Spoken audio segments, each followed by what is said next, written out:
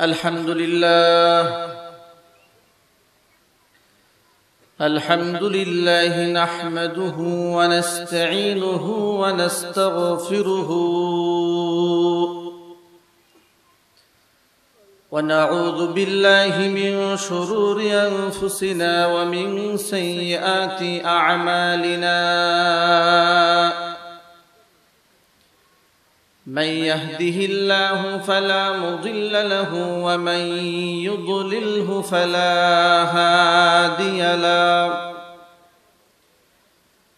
ونشهد أن لا إله إلا الله وحده لا شريك له. ونشهد أن سيدنا ونبينا وحبيبنا وشفيعنا ومولانا محمدا عبده ورسوله الذي أرسله بالحق بشيرا ونذيرا وداعيا إلى الله بإذنه وسراجا وقمرا منيرا. فقد قال الله تعالى في كلامه المجيد وفي فرقانه الحميد. أعوذ بالله من الشيطان الرجيم. بسم الله الرحمن الرحيم. إن الله اشترى من المؤمنين أنفسهم وأموالهم بأن لهم الجنة. يقاتلون في سبيل الله فيقتلون ويقتلون.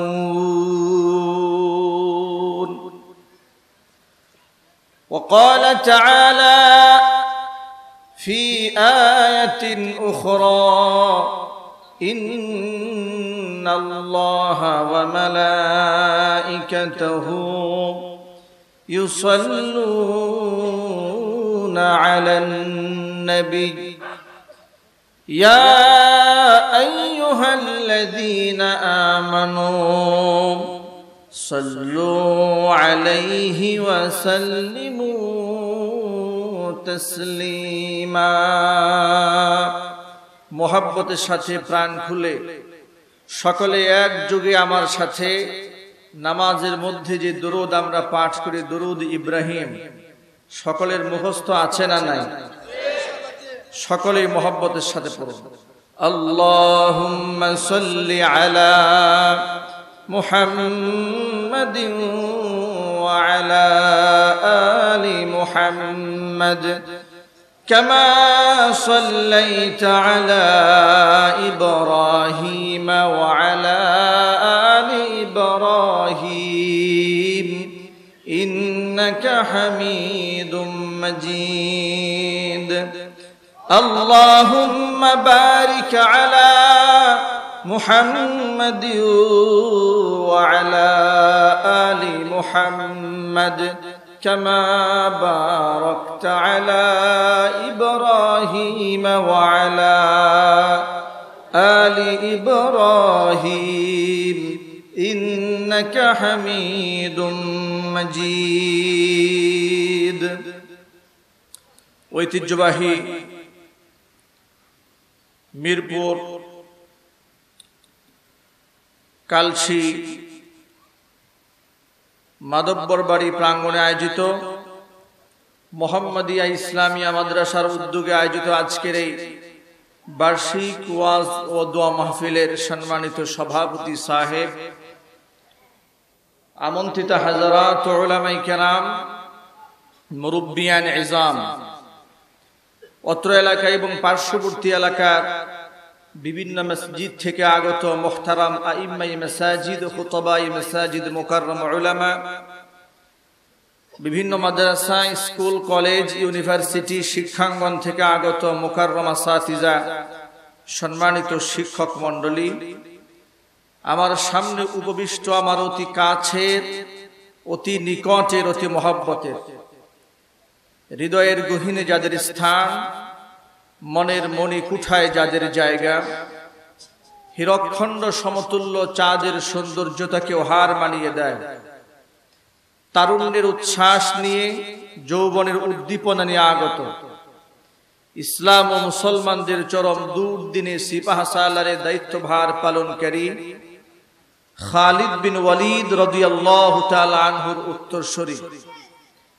গাজী সালাউদ্দিন আইয়ুবি জামাল উদ্দিন আফগানি রাহিমাহুম আল্লাহর উত্তরসূরি তারিক বিন জিয়াদ মোহাম্মদ বিন কাসেম।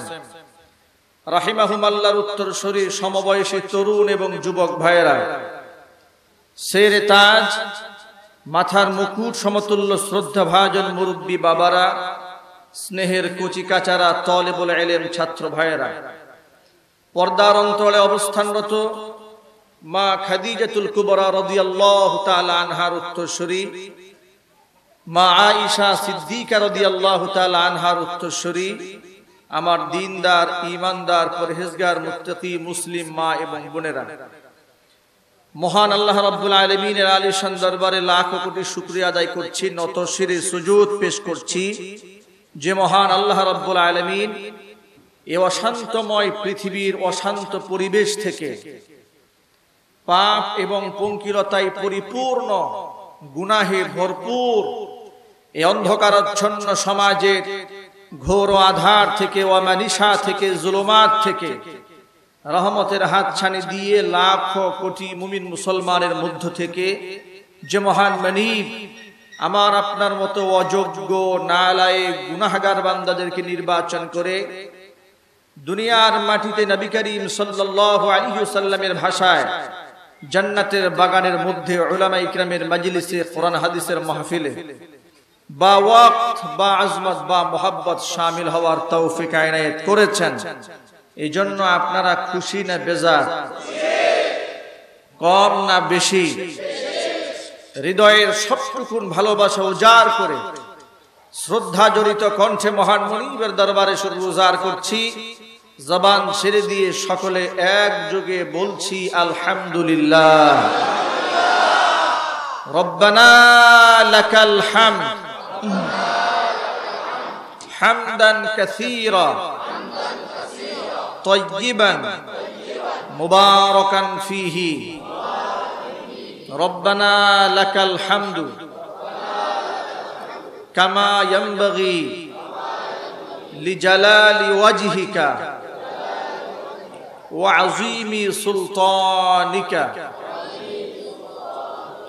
আল্লাহ পাক এই মাহফিলকে কবুল করে নিন।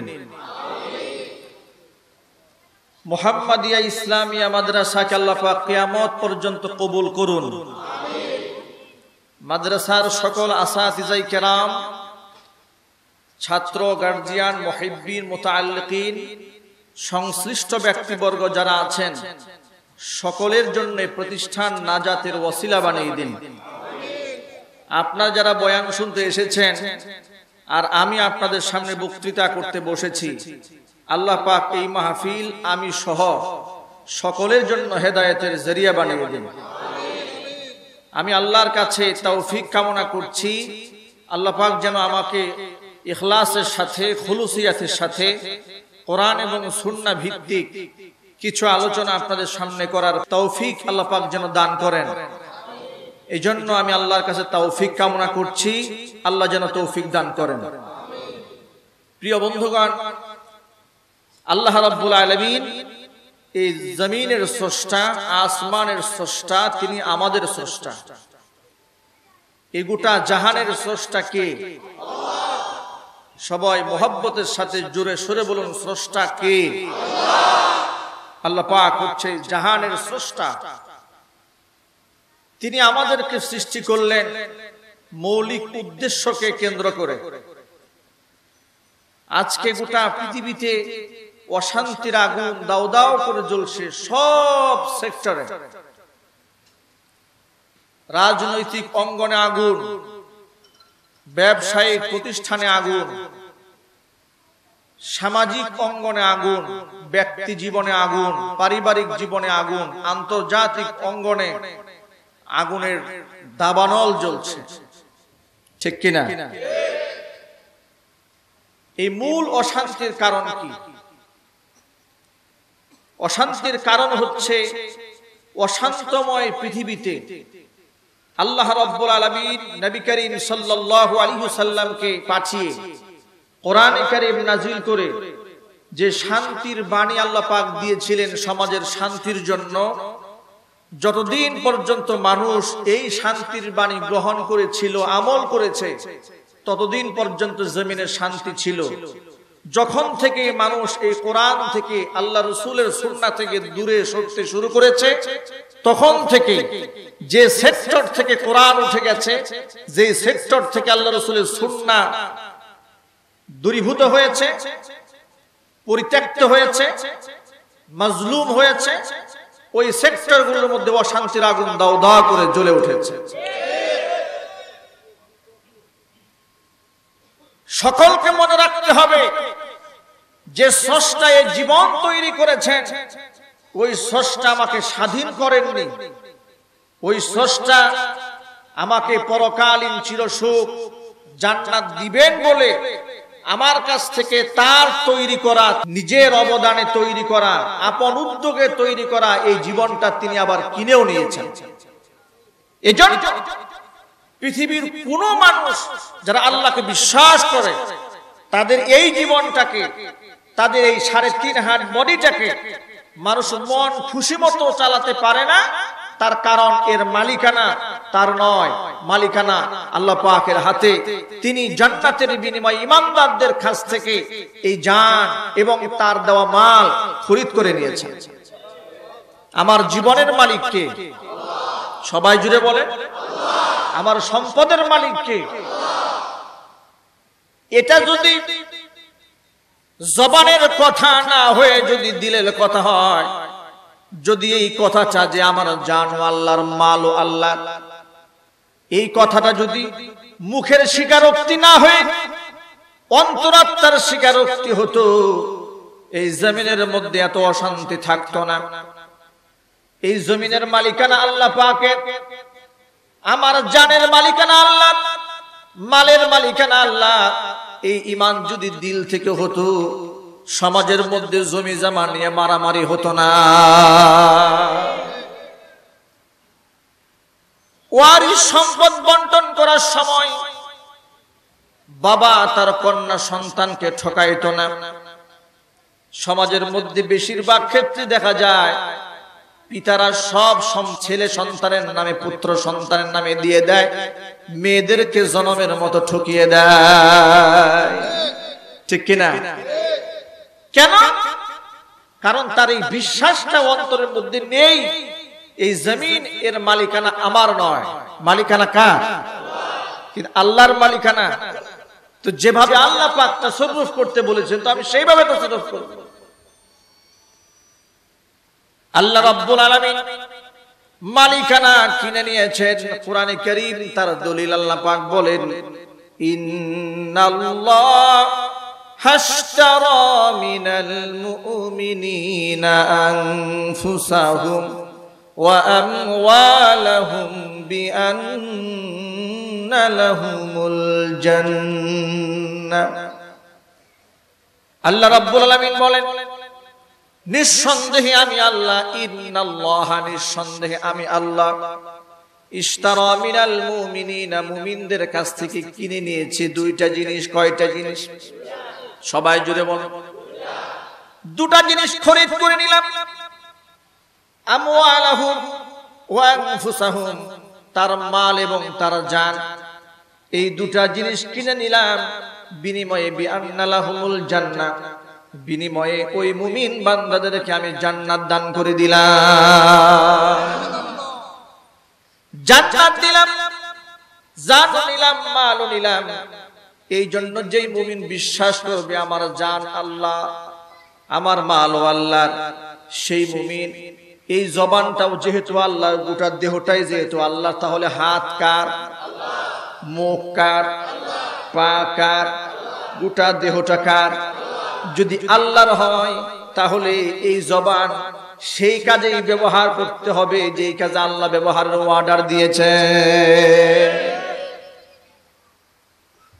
কোরআনে কারিম আল্লাহ পাক বলেন, কানটাকে সেই কাজেই ব্যবহার করো, যেই কাজে আমি ব্যবহার করার অর্ডার দিয়েছি। অন্তরটাকে সেই কাজে ব্যবহার করো, যেই কাজে আমি অর্ডার দিলাম। মুখটাকে, জবানটাকে সেই কাজে ব্যবহার করো যে কাজের মধ্যে ব্যবহার করার ওয়ার্ডার আমি আল্লাহ পাক দিয়ে দিলাম। কারণ হলো কেয়ামতের ময়দানে তোমার এই অন্তরাত্মা, তোমার এই মুখ তোমার এই কান তোমার এই চোখের সম্পর্কে আমি জিজ্ঞাসা করব। আল্লাহ রাব্বুল আলামিন বলেন, ওয়ালা তাকফু মা লাইসা লাকা বিহি ইলম ইন্নাস সামআ ওয়াল বাসার ওয়াল ফুআদ কুল্লু উলাইকা কানা আনহু মাসউলা। বান্দারা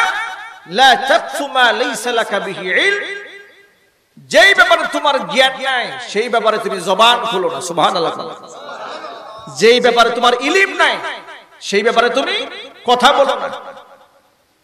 কারণ তোমার কান, ওয়াল বাসর, তোমার চোখ, ওয়াল ফুআদা, তোমার অন্তর। কুল্লু উলাইকা কানা আনহু মাসউলা দিন তোমার কানের হিসাব দিতে হবে, এই চোখের হিসাব দিতে হবে, অন্তরেরও হিসাব দিতে হবে, বক্তব্যটা কার? জোরে বলেন না। আল্লাহ পাক যেহেতু মালিকানা আমার হাতে, এটা আমি কিনে নিয়েছি। এই জবানটা তোমার নয়, এটা আমার জবান। এই দেহটা তোমার নয়, এটা আমার দেহ। এই সম্পদগুলো তোমার নয়। যেভাবে তুমি যেখানে খুশি সেইভাবে ব্যবহার করবে, এটা তোমার নয়। আমার বন্ধুগণ কোরআনে কারিমের এই কথাগুলো মুসলমান না জানার কারণে বলে, এটা আমার দেহ, আমার স্বাধীনতা। যেভাবে খুশি, যেখানে খুশি, আমি সেভাবে ব্যবহার করব। আল্লাহ পাক বলেন, খবরদার, সাবধান। যারা আমার প্রতি ইমান এনেছে, এই দেহটা যেখানে খুশি, সেখানে ব্যবহার করতে পারবা না। এই কথাগুলো না জানার কারণে মানুষেরা জীবন খুয়াচ্ছে সেই পথে, যে পথে একটা সেকেন্ড ব্যয় করে আল্লাহ পাক হারাম করে দিয়েছে। কথা বলেন না কেন? রাজনৈতিক নেতার জন্য জীবন দিয়ে দিচ্ছে মুসলমান। কথা ঠিক কিনা? নেতার জন্য জীবন দেয়, নেতার জন্য রাস্তায় মিছিল করে। কোন নেতার জন্য মিছিল করে, যেই নেতা জীবনে নামাজও পড়ে না। কথা বলেন না কেন? জীবনটা কোথায় গেল? এই জীবনটা তো আমার না। জীবনটা কার? তো গেল কোথায়? বেনামাজির পিছনে। যে আমার আল্লাহকে মানে তার জন্য আমার জীবনটা খোয়া গেল। জীবনটা আমার শেষ হয়ে গেল। কিন্তু আল্লাহ পাক বলছেন যে না, এই জীবন তো তোমার নয় জীবনটা আমার। পুরুষের জীবন যদি আল্লাহর হয়, মহিলাদের দেহটা, মহিলাদের জীবনটা কার? তার জানটা কার? তার মালটা কার? আমার মা বোনেরা যদি মনে করে থাকেন, আমার তো স্বাধীনতা আছে। আমি স্বাধীন বাংলাদেশের স্বাধীন নাগরিক। যেভাবে খুশি আমি সেভাবে চলব। জিন্সের প্যান্ট পরি আর হাফ প্যান্ট পরি এটা মৌলবীদের বলারটা কি আছে? এরকম নারী সমাজের মধ্যে আছে না নাই? জোরে বলুন, আছে না নাই? আমার গায়ে ওড়না থাকল কিনা? এটা আলেমদের বলার কি আছে? তারা মনে মনে অনেক দাবি করে থাকে, আন্দোলন করে আমাদের স্বাধীনতা আছে। হুজুররা কেন আমাদেরকে বারণ করবে? আমি তাকে বিনয়ের সাথে বলব, আমি আপনার সন্তান হিসেবে বলি, আপনার ভাই হয়ে বলি, একজন আলেম হিসেবে বলি, একজন দায়ী হিসেবে বলি, মা বোনেরা, আলেমের বলার কিছু নাই, কিন্তু যে স্রষ্টা আপনাকে সৃষ্টি করেছেন শাল্লা রাব্বুল আমিন যে কথাগুলো আপনাকে বলেছেন, সেই কথাগুলো উলামায়ে কেরাম আপনাকে শোনাবে, সেটা আপনার জানার দরকার আছে না নাই? জুড়ে বলেন, সেটা জানা দরকার। যেই স্রষ্টা আপনাকে বানালেন, আমি আলেম হয়ে আপনাকে কিছুই বললাম না, এবার আল্লাহর কথাগুলো আপনাকে আমি শোনাই।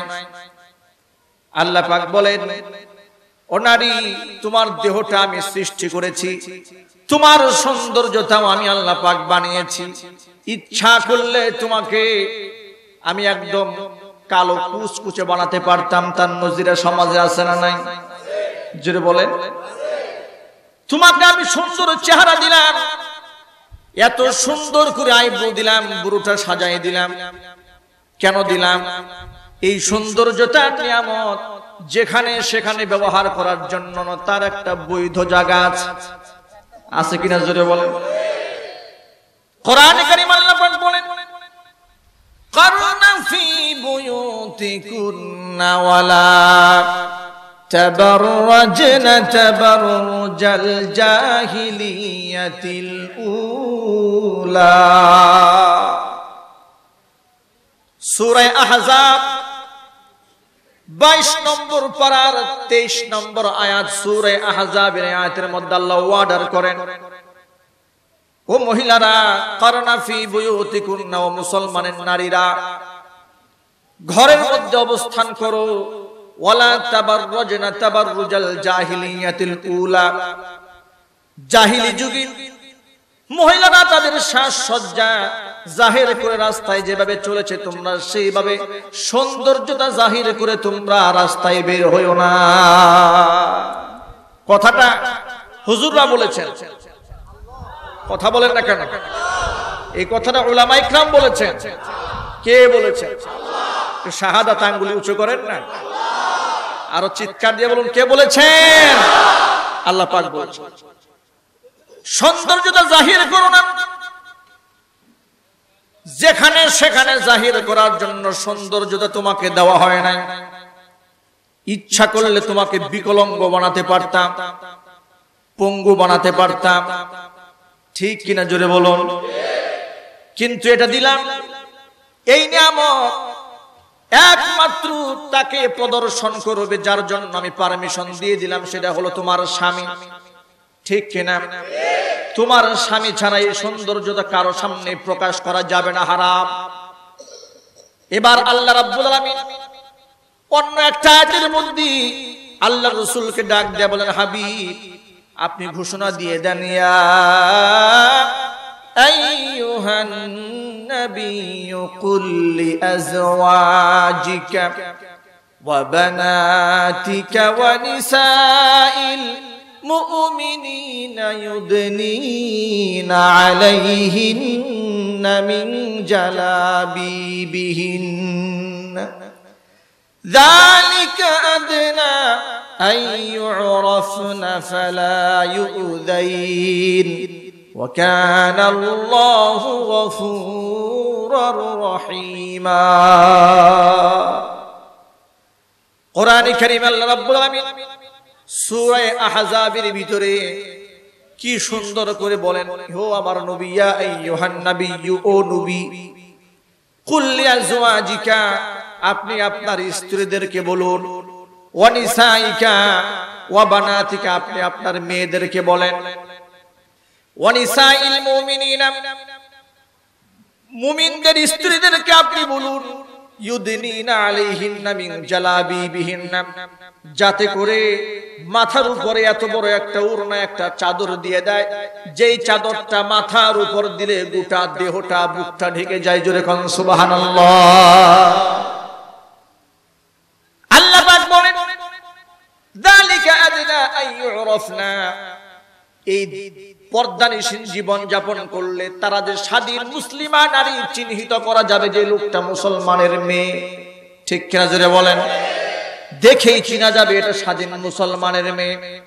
ফালায়ু না আমি যে অর্ডার করলাম, আমি যে বিধিবিধান দিলাম, এই অর্ডার ফলো করে যদি তোমরা জমিনের মধ্যে চলতে পারো। আল্লাহ পাক বলেন, ও জমিনের নারীরা, ফালা ইউযাইন, কখনোই তোমাদের পদস্খলন হবে না, কখনোই তোমাদেরকে উত্তক্ত করা হবে না, তোমাদেরকে প্রিজিং করা হবে না।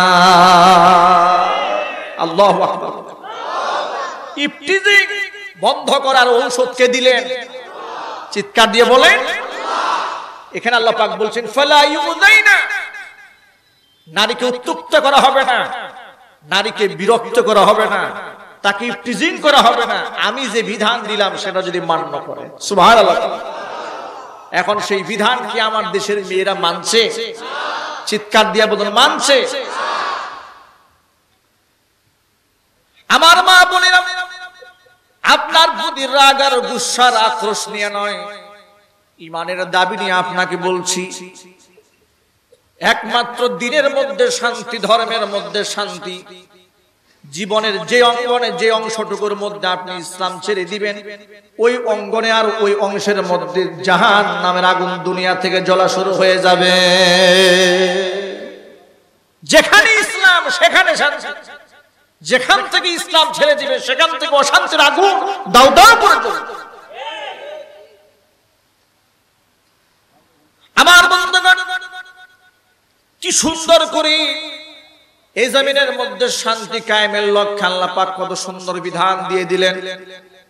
আল্লাহ পাক একদিক থেকে পুরুষকে কন্ট্রোল করে দিলেন, আরেক দিক থেকে নারীকে কন্ট্রোল করে দিলেন। কোরআনে কারিমের সূরা নূর, আঠারো নম্বর পারার বারো নম্বর পৃষ্ঠার মধ্যে আল্লাহ রব্বুল আলামিন বলেন, পুরুষদেরকে কন্ট্রোল করেন কোন ভাষায় শোনেন। নূরের 30 নম্বর আয়াতের মধ্যে আল্লাহ বলেন মুমিনিনা ইয়াগুদ্দু মিন আবসারিহিম ওয়া ইয়াহফাযু ফুরুজাহুম। যালিকা আযকা লাহুম। ইন্নাল্লাহা খাবীরুম বিমা ইয়াসনাউন। কুল লিল মুমিনিন। হে নবীজি, আপনি মুমিন পুরুষদেরকে বলেন ইয়াগুদ্দু মিন আবসারিহিম তারা যেন পরনারী থেকে চক্ষুকে নিম্নগামী করে রাখে। কে বললেন এটা? আল্লাহ নাম বলতে কষ্ট হচ্ছে আপনাদের? এই ওয়ার্ডারটা কার? আল্লাহ পাক বললেন, তারা যেন পরনারী থেকে চক্ষুকে নিম্নগামী করে রাখে। এরপর আল্লাহ পাক বলছেন যালিকা আজকা লাহুম নিম্নগামী করে রাখলে এটা তাদের আত্মশুদ্ধির জন্য, পবিত্র জীবন যাপন করার জন্য বড় মাধ্যম হয়ে দাঁড়াবে নিঃসন্দেহে আমি তাদের আমল সম্পর্কে যা তারা যা করে সব কিছুর খবর আমার কাছে আছে। পুরুষকে কন্ট্রোল করে দিলেন।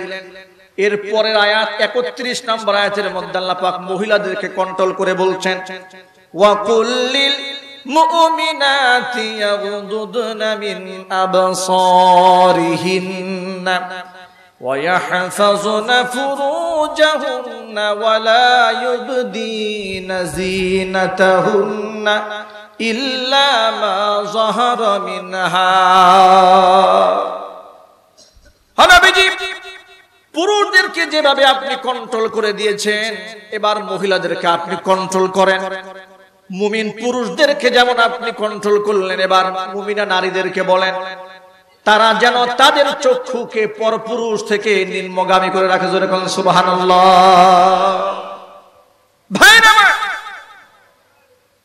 ইসলাম সমাজের মধ্যে শান্তি প্রতিষ্ঠার লক্ষ্যে পুরুষকে কন্ট্রোল করেছেন, নারীকেও কন্ট্রোল করেছেন। যাতে করে উভয়ের সম্মান অটুট থাকে, নারীর মর্যাদা রক্ষিত থাকে, নারীর মর্যাদা যেন মাহফুজ থাকে, এটা যেন রাস্তাঘাটে বুলুণ্ঠিত না হয় এই জন্য আল্লাপাক পুরুষকেও কন্ট্রোল করলেন, নারীকেও কন্ট্রোল করলেন। যদি বলেন সুবহান কিন্তু আমার বন্ধুগণ, যেখানে আমার ধর্ম আমাকে শিখাই দিল, নারীর চেহারা দর্শন তো দূরের কথা। নারীর চোখের সামনে যদি পড়ে যায় হজরতে আলী কার্লামাল্লাহু ওয়াজহাকে আল্লাহ রাসূল বলেন, ইয়া নাজরাতুল উলা তোমার চোখের সামনে হঠাৎ করে কোন মহিলা যদি চোখের সামনে পড়ে যায় উলা তাহলে এক নজর তোমার জন্য জায়েজ। এর মানে পড়ে গেল, তুমি চোখটা সরিয়ে লাকাল উখরা। কিন্তু আরেকবার ভালো করে তাকিয়ে থাকবা, সেই সুযোগ তোমাকে দেওয়া হয়নি। জারির ঘনিষ্ঠ একজন সাহাবী। জারির রসুলের সেই সাহাবী, যিনি রসুলের দেখে মুসলমান হয়েছিলেন। আরও আস্তে বলেন। এখন বর্তমানে মুসলমানদের আখলাক দেখলে বিধর্মীরা মুসলমান হবে দূরের কথা। মুসলমানদের আখলাক দেখি বিধর্মীরা মনে মনে ভাবে যে আমরা হিন্দু, খ্রিস্টান, বৌদ্ধ হইয়া এই জাতির সাথে বহুত ভালো আছি। কথা জুড়ে বলেন না কেন? সবচেয়ে মিথ্যা কথা বলে কারা? এই মুসলমান। মানুষকে ধোকা দেয় কারা? এই মুসলমানরা। চুরি করে কারা? এই মুসলমান। খাদ্যে ভেজাল দেয় কারা? এই মুসলমানেরা। ওজনে কম দেয় কারা? এই মুসলমানেরা। কোরআন এবং সুন্না বিরোধী কথা সবচেয়ে বেশি বলে কারা? কি বলতে লজ্জা লাগতেছে?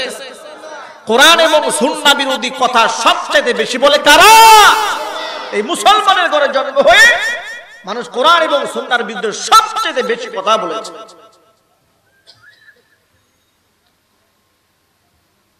আমাদের দেখি মানুষ মুসলমান হবে, দূরের কথা। আমাদের আচরণ দেখে মানুষ মনে করে যে আমরা বৌদ্ধ খ্রিস্টান হয়ে বহুত ভালো আছি। আমরা মুসলমান, কোরআন এবং সুন্দর আমল ছেড়ে দেওয়ার কারণে, আমলের মধ্যে এই ভেজাল ঢুকে যাওয়ার কারণে আমাদের সমাজের মধ্যে এমন পদস্খলন হয়েছে। হজরত জারিরের কথাই বলছিলাম, আমরা তো আমাদের বড়দেরকে সম্মান দিতে জানি না। আর সম্মান তো ধীরে ধীরে সমাজ থেকে উঠে যাচ্ছে। মুরব্বীদেরকে দেখলে মানুষ, ছেলেরা ইয়াং জেনারেশন আগে সালাম দিত। চাচা সালাম আলাইকুম। এখন সালাম তো শেষ হয়ে যাচ্ছে। যদি দেখে রাস্তায় কোনো মুরব্বী আসতেছে, মুরব্বী দেখলে সিগারেটের টানটা আলো ভালো করে দেয়। হয়ে যাচ্ছে।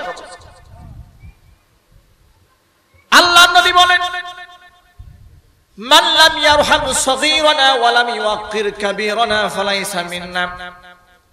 আমার উম্মতের ভিতরে যেই লোক ছোটকে স্নেহ করল না আর বড়কে সম্মান দিল না, বিশ্বনবী সাল্লাল্লাহু আলাইহি সাল্লাম বলেন, ফালাইসা মিন্না, ওই ব্যক্তি কখনো আমি নবীর দলভুক্ত হতে পারে না। অবশ্যই বড়কে সম্মান করতে হবে। এটা ইমানের শিক্ষা। কোন সুবহানাল্লাহ আল্লাহ নবীর কোন আখলাক দেখে হজরতে জারির কালিমা পড়ে মুসলমান হয়ে গেলেন? জারির ইবনে আব্দুল্লাহ বাজালি ইয়ামানে তার বাড়ি ছিল, ইয়ামানের এক গোত্র প্রধান ছিলেন তিনি। মদিনা স্টেটের খবর যখন আল্লাহ নবী সাল্লাল্লাহু আলাইহি সাল্লামের তাওহীদের বাণীর আওয়াজ যখন গোটা বিশ্বময় ছড়িয়ে পড়ল, হযরতে জারির ইবনে আব্দুল্লাহ আল বাজালি আল্লাহ নবী সাল্লাল্লাহু আলাইহি মুলাকাত এবং তার সাক্ষাৎ লাভের জন্য ইয়ামান থেকে মদিনা স্টেটের উদ্দেশ্য রওনা হয়ে গেলেন। হযরতে জারির যেদিন মদিনা আসলেন, সেদিন ছিল জুমার দিন। সাহাবাই আল্লাহর বয়ান এমন সময় মধ্যে প্রবেশ করলেন। সাহাবাই কিরাম হযরতে জারিরের চেহারা দেখে একজন আরেকজনের চেহারার দিকে তাকিয়ে চোখ মারতেছিলেন। হযরতে জারির খুব ইতস্ততা বোধ করছিলেন যে আমাকে দেখে এরা আমাকে কখনো দেখেনি আর আমি এদেরকে কখনো দেখিনি। তাহলে ওরা আমার দিকে চোখ মারে কেন? চোখ দিয়ে ইশারা করে কেন? এমন ভাবে তিনি তিনি বড় আশ্চর্য হয়ে যাচ্ছিলেন। আমাকে ইঙ্গিত করে তারা ইশারায় কি যেন বলে তাদের ভাষা, তাদের চোখের এই ইশারা দেখে আমার মনে হয় এরা আমাকে যেন আগে থেকেই চিনে, কিন্তু আমি তো চিনি না। হযরত জারির ইবনে আব্দুল্লাহ ডান দিকে তাকায়, বামে তাকায়, মনের মধ্যে প্রশ্ন ঘুরপাক খাচ্ছে, কেন এরা আমার ব্যাপারে এরকম করছে? কিন্তু নিস্তব্ধ, নিরবতা খুতবা দিচ্ছেন বিশ্ব নবী মোহাম্মদ রসুল্লাহ কে খুতবা দিচ্ছে? আল্লাহ রসুল খুতবা দিচ্ছেন সুবহান আল্লাহ পরে। জুমার নামাজের মুসল্লি হজরত আবু বকর ওমর উসমান, আলী, এ ধরনের বড় বড় সাহাবি হুজুরের সামনে জুমার নামাজের মুসল্লি। নামাজ যখন শেষ হল হজরত জারির পাশের সাথীকে ডাক দেয় বলেন নবীর সাহাবি, তোমরা কি আমাকে চেনো? বলে, না, আমরা আপনাকে চিনি না। তাহলে তোমরা যে আমাকে দেখে একজন আর একজনের দিকে চোখ মারতেছিল, আমাকে দেখাচ্ছিল, তার কারণটা কি? সাহাবাই কাম বলছেন, যদিও আমরা আপনাকে চিনি না, কিন্তু আপনি এই মজলিসের মধ্যে আসার আগে বিশ্বনবী মোহাম্মদ রসুল্লাহ সাল্লাহ আলাইসাল্লাম আপনার আখলাকের প্রশংসা মসজিদের মধ্যে করেছে আপনার চেহারার বর্ণনা আল্লাহ রসুল দিয়েছিলেন। জিয়ামানের বাজাল অঞ্চল থেকে জারির ইবনে আব্দুল্লাহ বাজালি নামক একজন লোক আসতেছে। আপনার চেহারার বর্ণনা আল্লাহ রসুল যেভাবে দিয়েছিলেন, আমরা আপনার চেহারার দিকে তাকায় আপনাকে চিনে ফেলেছি। এই জন্য একজন আরেকজনের দিকে আখ দিয়ে চোখ দিয়ে ইশারা করে দেখাই দিচ্ছিলাম, ইনি সেই ব্যক্তি যার প্রশংসা আল্লাহ রসুল করেছেন। হজরতে জারির বড় অবাক হয়ে গেলেন। আমি মুসলমান নই, অমুসলিম। আর আমার কোন আধিপত্য এখন নাই। আধিপত্য হলো ইসলামের। এই সময় যে মোহাম্মদ ওয়াসাল্লাম ইচ্ছা করলে চোখের ইশারা দিয়ে আমাকে ধুলার সাথে মিশাই দিতে পারে। সেই সময় আমার মতো জারির প্রশংসা তিনি করলেন। নিঃসন্দেহে তিনি বড় বড় মনের মানুষ। ইসলাম কবুল করার ক্ষেত্রে আল্লাহ নবীর এই আচরণ সবার আগে আমার দিলের মধ্যে আসর করল। এটা ছিল ইসলাম কবুল করার আগের ঘটনা। তিনি বলছেন, আল্লাহ রসুলের এই প্রথম আচরণ আমার দিলের মধ্যে তার প্রতি শ্রদ্ধা, ভক্তি, সম্মান অনেক গুণে বেড়ে গেল। নামাজ শেষ হয়ে গেল। সাহাবাই গ্রামদেরকে পাশ কাটিয়ে পাশ দূরে সরিয়ে দিয়ে আমাকে সামনে বসালেন। আল্লাহ নবী আমাকে কালিমার দাওয়াত দিলেন। হজুরের মুখে কালিমার কথা আমার কাছে এত মধুর মতো লাগল। আমি আর বেশি দেরি করতে পারলাম না। আমি ওই উপস্থিত মজলিসের মধ্যে পড়ে নিলাম।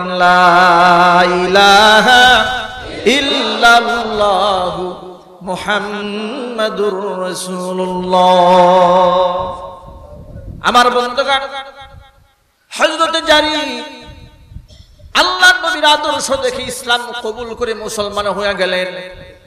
হযরত জারিরের জীবনে উল্লেখযোগ্য আর একটা ঘটনা আছে, যে আল্লাহর রসুলের আদর্শ, আজকে মুসলমানদের একজন আরেকজনের প্রতি সম্মান নাই, শ্রদ্ধা নাই, বড়দের প্রতি সম্মান বোধ উঠে গেছে, কথা ঠিক কিনা জুড়ে বলেন। চায়ের দোকানে যায়, পানের দোকানে যায়, বড় লোকের ছেলে হোটেলে যায়, রিক্সাওয়ালাকে ডাকে, রিক্সাওয়ালাকে ডাক দেয়, বলে খালি, এদিকে যাকে এদিকে আই বলে ডাক দিল, সে দেখতে তাকাই দেখেন তার বাবার বয়সের লোক। কথা বলছেন না কেন? কিসের গরমে যে ছেলেটা আজকে রিক্সাওয়ালাকে এদিকে আই বলে, তুই বলে সম্বোধন করেছে, ইউনিভার্সিটির ছেলে, বিশ্ববিদ্যালয়ের ছেলে, লেখাপড়া করেছে স্মার্ট স্মার্ট হতে গিয়ে বাবার বয়সের লোকটাকে তুই বলে সম্বোধন করছে। আমি বলি যে শিক্ষা তোমাকে বাবার বয়সের লোকটাকে শ্রদ্ধা করতে শেখায়নি, ওটা শিক্ষা হতে পারে না, কথা ঠিক কিনা যদি বলে।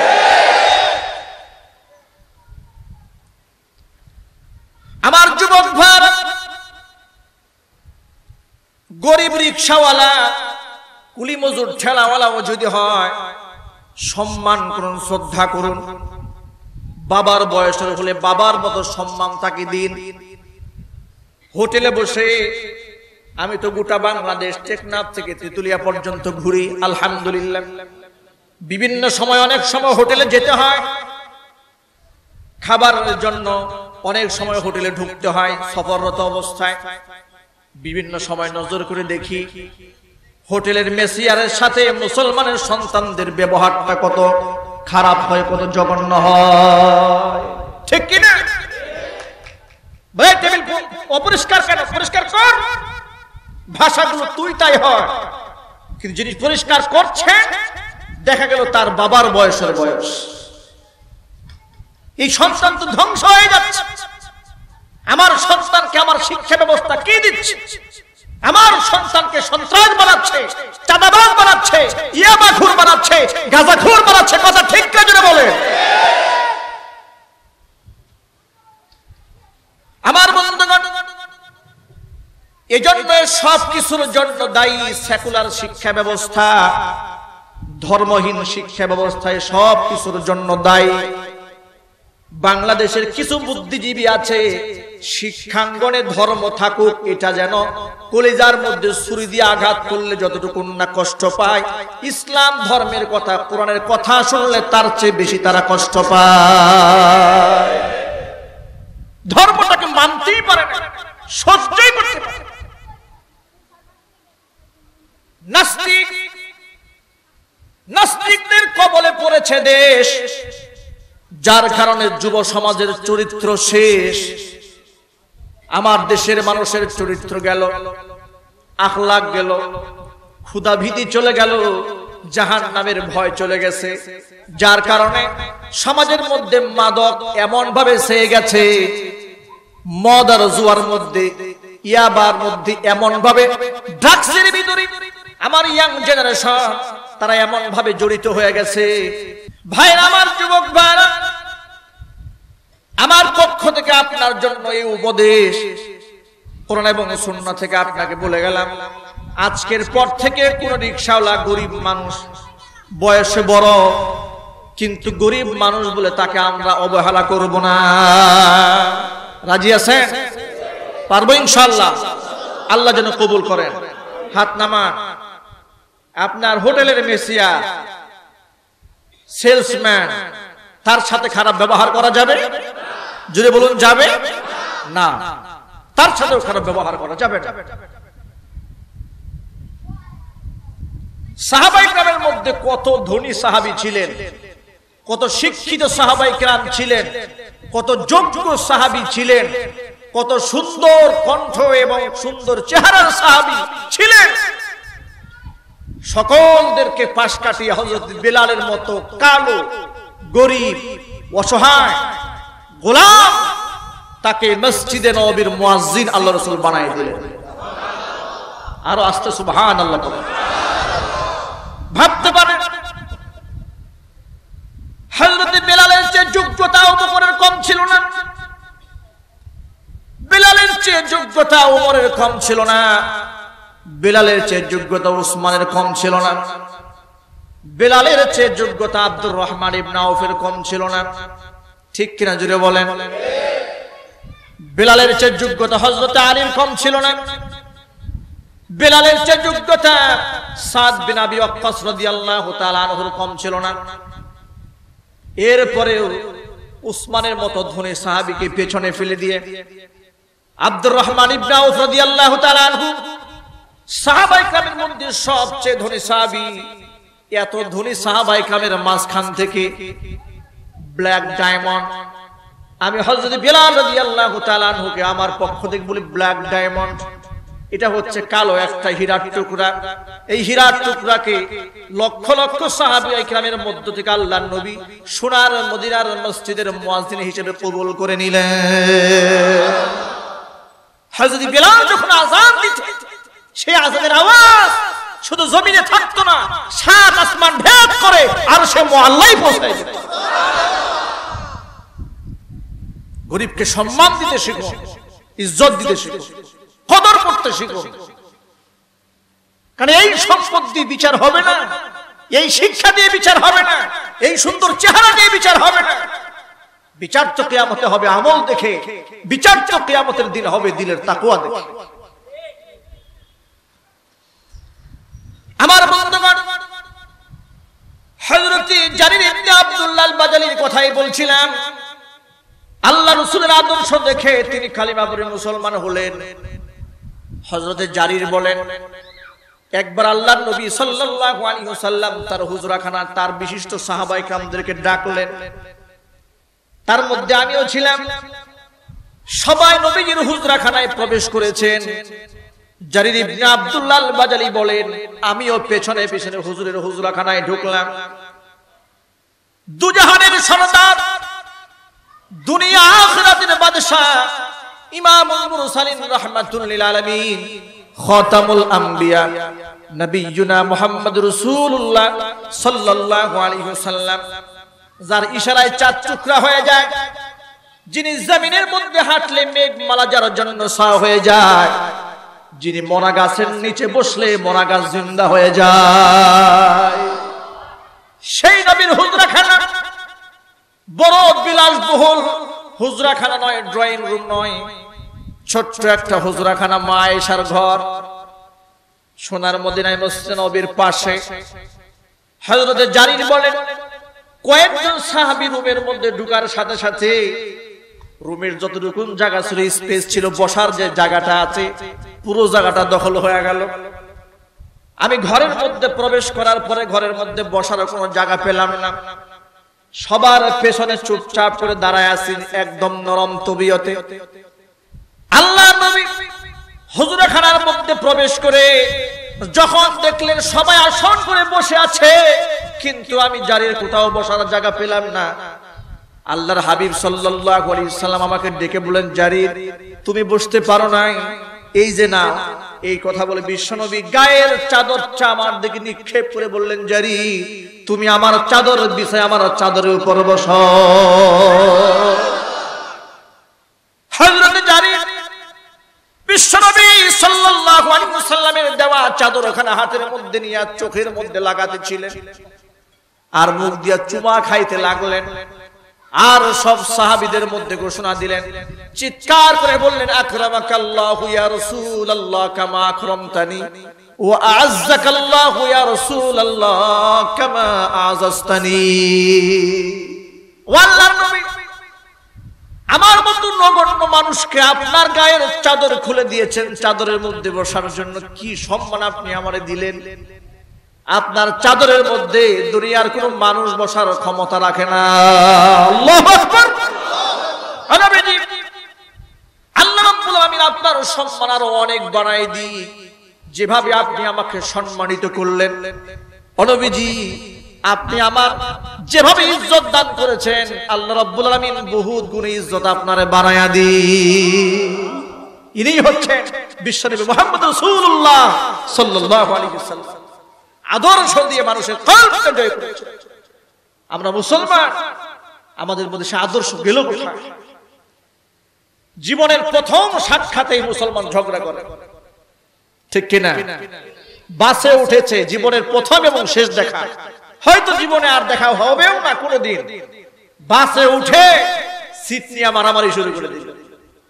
কি মুসলমানের চরিত্রটা দেখো পায়ের সাথে পা লেগেছে, গায়ের সাথে গা লেগেছে, সেকেন্ডের মধ্যে মুসলমান ঝগড়া শুরু। এই মুসলমানকে দেখে আরেকজন মানুষ হেদায়ত কীভাবে পাবে? কথা ঠিক করে জুড়ে বলে। মানুষকে সম্মান দিতে শিখো। ইজ্জত করতে শিখো।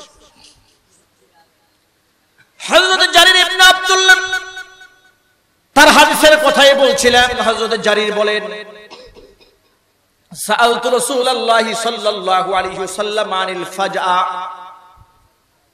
আমি আল্লাহ রাসূল সাল্লামের কাছে চোখের সামনে হঠাৎ করে বেগানা নারী চলে আসলে, তার ব্যাপারে জিজ্ঞেস করলাম, আল্লাহ নবী সাল্লাল্লাহু আলাইহি আমাকে জবাব দিয়ে বলেন, জারির প্রথমবার দেখার সাথে সাথে চোখটাকে ফিরাই ফেলবা। ওলা তুতবিল আখিরা, কিন্তু পরবর্তীবার আর তার চেহারার সৌন্দর্যতার দিকে ফিরে তাকাবে না। ইসলাম কন্ট্রোল করলেন নারীকে কন্ট্রোল করলেন পুরুষকে, শান্তি কায়েমের লক্ষ্যে। সেই মুসলমানের মেয়েরা, সেই মুসলমানের ছেলেরা, এতটা বেপরুয়া হয়েছে সমাজের মধ্যে বেপরোয়া হতে হতে এক পর্যায়ে পশ্চিমা উলঙ্গ সংস্কৃতি, বেহায়াপনা, সুন্দরী প্রতিযোগিতার নামে মিস ওয়ার্ল্ড, বাংলাদেশের নামে এই উলঙ্গ, বেহায়াপনা, সৌন্দর্যতা বিলীন করে দিয়া নিজের চরিত্রটাকে, দেহটাকে ধ্বংস করে দেওয়ার জন্য অনুষ্ঠান বাংলাদেশে সাজিয়েছে। ঠিক কিনা যদি বলেন? নাম দিয়েছে মিস ওয়ার্ল্ড বাংলাদেশ। এতে করে নাকি নারীদের খুব সম্মান দেওয়া হলো। নারীদেরকে খুব ইজ্জত দেওয়া হলো।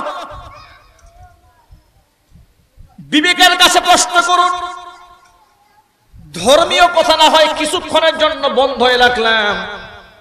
কোরআনের কথা বলতে গিয়ে তো সারা রাত বলেও শেষ হবে না। ধর্মীয় কথা দুই সেকেন্ড, দুই মিনিটের জন্য বাদ দিলাম। শুধুমাত্র বিবেকটাকে একটা বার প্রশ্ন করুন। সুন্দরী প্রতিযোগিতার মধ্যে বিচারকেরা একজন নারীর যে সমস্ত অঙ্গ প্রত্যঙ্গগুলো মাপজুক করে, নারীর সৌন্দর্যতার এই মাপজুক করার অধিকার তার দিল কে? কে দিয়েছে? আপনার মেয়ের বডিটা কতটুকু? আপনার মেয়ের কমরটা কতটুকু? আপনার বোনের কমর কতটুকু এটা রাস্তাঘাটে হাজার পুরুষের জন্য উন্মুক্ত করে দিবেন। এর মধ্যে কি সম্মান নাকি বেইজ্জতি? কথা বলতে হবে ইমানদারের মতো। এর মধ্যে সম্মান না বেইজ্জতি? আজকে এই উলঙ্গ সংস্কৃতি, ছাপ্পান্ন হাজার বর্গ মাইলের সোনার বাংলাদেশ, এটা ইহুদি এবং খ্রিস্টানদের উলঙ্গ সংস্কৃতির দেশ নয়। এটা লক্ষ লক্ষ মসজিদ, মাদ্রাসা ওলামাই নামের দেশ। কথা ঠিক না বলেন? সে দেশের মধ্যে করে ঢুকাই দেওয়া হয়েছে। বিসওয়াল বাংলাদেশের নামে। আমি পত্রিকার পাতা পরে অবাক হলাম। তথ্য পেলাম প্রায় তিরিশ হাজার মহিলারা এই প্রতিযোগিতার মধ্যে অংশগ্রহণ করেছে। তিরিশ হাজার নারী। বড় অবাক হলাম। এই প্রতিযোগিতার মধ্যে কি কি সাবজেক্ট থাকবে আর কোন কোন বিষয়কে মাপজুক করা হয়? আমি বলি, বিচারকরা যে দৃশ্যগুলো দেখে দেখে মাপজুক করে, এটা ইবলিশ শয়তান ছাড়ার কারও কাছে এই বর্ণনা দেওয়া সম্ভব নয়। কুমরটা কতটুকু উরুটা এই মাপজুক সে পরনারীকে দেখে পত্রিকার পাতার মধ্যে এসেছে, একজন বিচারকের সামনে একটা মেয়ে গিয়েছে কুট পরে। বিচারক তাকে বলছে, কুটটা খুলে ফেলো। আমি যদি তোমাকে ভালো করে নাই দেখি, তোমাকে মার্কস দেবো কি আপনারা বলুন, এটা সুন্দরী প্রতিযোগিতা নয়, এটা লম্পট প্রতিযোগিতা। কথা ঠিক কিনা বলেন? এটা জিনাহের প্রতিযোগিতা। এটা মিসওয়াল বাংলাদেশ তৈরি নয়, এটা হচ্ছে জাতীয় পতিতা তৈরির কারখানা। কথা ঠিক না, চিৎকার দিয়ে বলেন। এটা মিসওয়াল বাংলাদেশ নয়, এটা মিস পতিতা বাংলাদেশ। কথা বলতে লজ্জা লাগে নাকি? ভয় হয় মনে? মুসলমানদের দুর্বার আন্দোলন করে তুলতে হবে। পশ্চিমা সংস্কৃতি যেন বাংলার মাটিতে ভর করতে না পারে। এজন্য প্রত্যেকটা মুসলমানকে সচেতন হতে হবে। আমি আমার সকল গার্জিয়ানদেরকে বলি, সন্তান দেওয়ার মালিক আল্লাহ, নেওয়ার মালিক আল্লাহ। ছেলে যিনি দেন মেয়েও তিনি দেন। কে দান করেন, জোরে বলেন। আরও জোরে বলেন। এই কোরআন আয়াত শুনেন আল্লাহ পাকে বার কি বলেন? ইন্নামা ওয়া আওলাদুকুম ফিতনা। ওয়াল্লাহু ইনদাহু আজরুন আযীম। নিঃসন্দেহে তোমাদের সম্পদ আর সন্তান সন্ততি সব হলো পরীক্ষা। বল্লাহু ইনদাহু আজরুন আযীম। এই পরীক্ষার মধ্যে যদি তোমরা পাশ করতে পারো এই সম্পদ যদি সঠিক জায়গায় ব্যয় করতে পারো, আর সন্তানকে যদি সঠিক পথে পরিচালিত করতে পারো, তাহলে আমি আল্লাহর কাছে রয়েছে মহান পুরস্কার।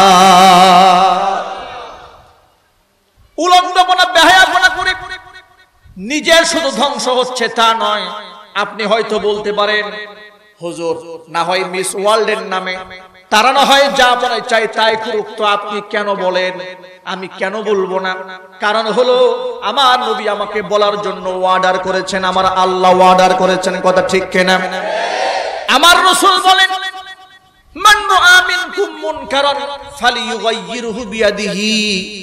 চোখের সামনে কেউ যদি অন্যায় দেখে, ক্ষমতা যদি থাকে, হাত দিয়া যেন প্রতিবাদ করে সেই অন্যায়টাকে শেষ করে দেয়। ফাইল্লাম হাত দিয়া প্রতিবাদ করার ক্ষমতা যদি না থাকে জবান দিয়া মুখ প্রতিবাদ করো। যদি জবান দিয়ে না পারো, ফাবি অন্তর দিয়া কাজটাকে ধ্বংস করার পরিকল্পনা করো।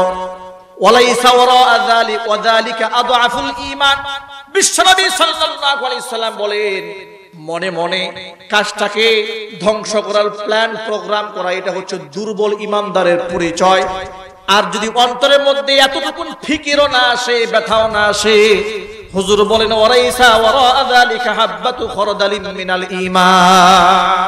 অন্তরের মধ্যে এই অন্যায়টা শেষ হোক। এতটুকুন ফিকির যদি অন্তরে না আসে, হুজুর বলেন, নামাজি পড়লেও সেই ব্যক্তির দিলে ঈমান নাই এত সহজ শুধু জুব্বা গায়ে দিয়া তসবি পড়লেই বুজুর্গ হওয়া যায় না। কথা ঠিক কিনা জোরে বলেন না কেন? সমাজের মধ্যে বহুত বুজুর্গ আছে বলে আমি তো নামাজ পড়ি, রোজা রাখি, তাহাজ্জুদের নামাজও পড়ি, আমার দাড়িও লম্বা লম্বা, কোনো অসুবিধা নাই। বেহেশতের দারোয়ান তো আমি হবই। কিয়ামতে তো ফেরেশতারা আমাকে জোর করে বেহেস্তে পাঠাবে। কি বলে?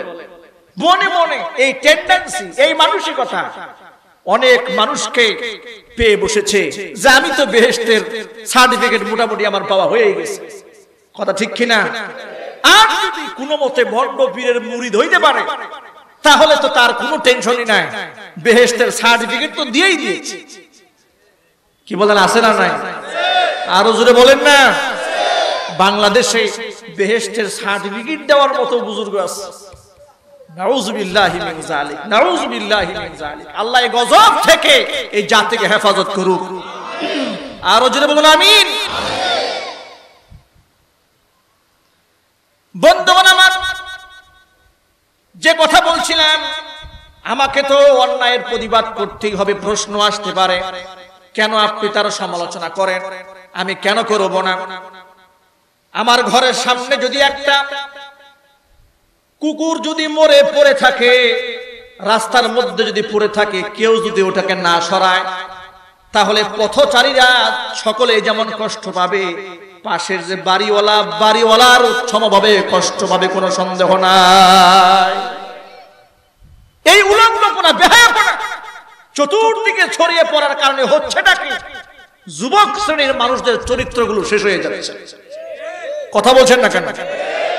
আচ্ছা ইফটিজিং এর জন্য বাংলাদেশে ইফটিজিং এর বিরুদ্ধে আইন আছে।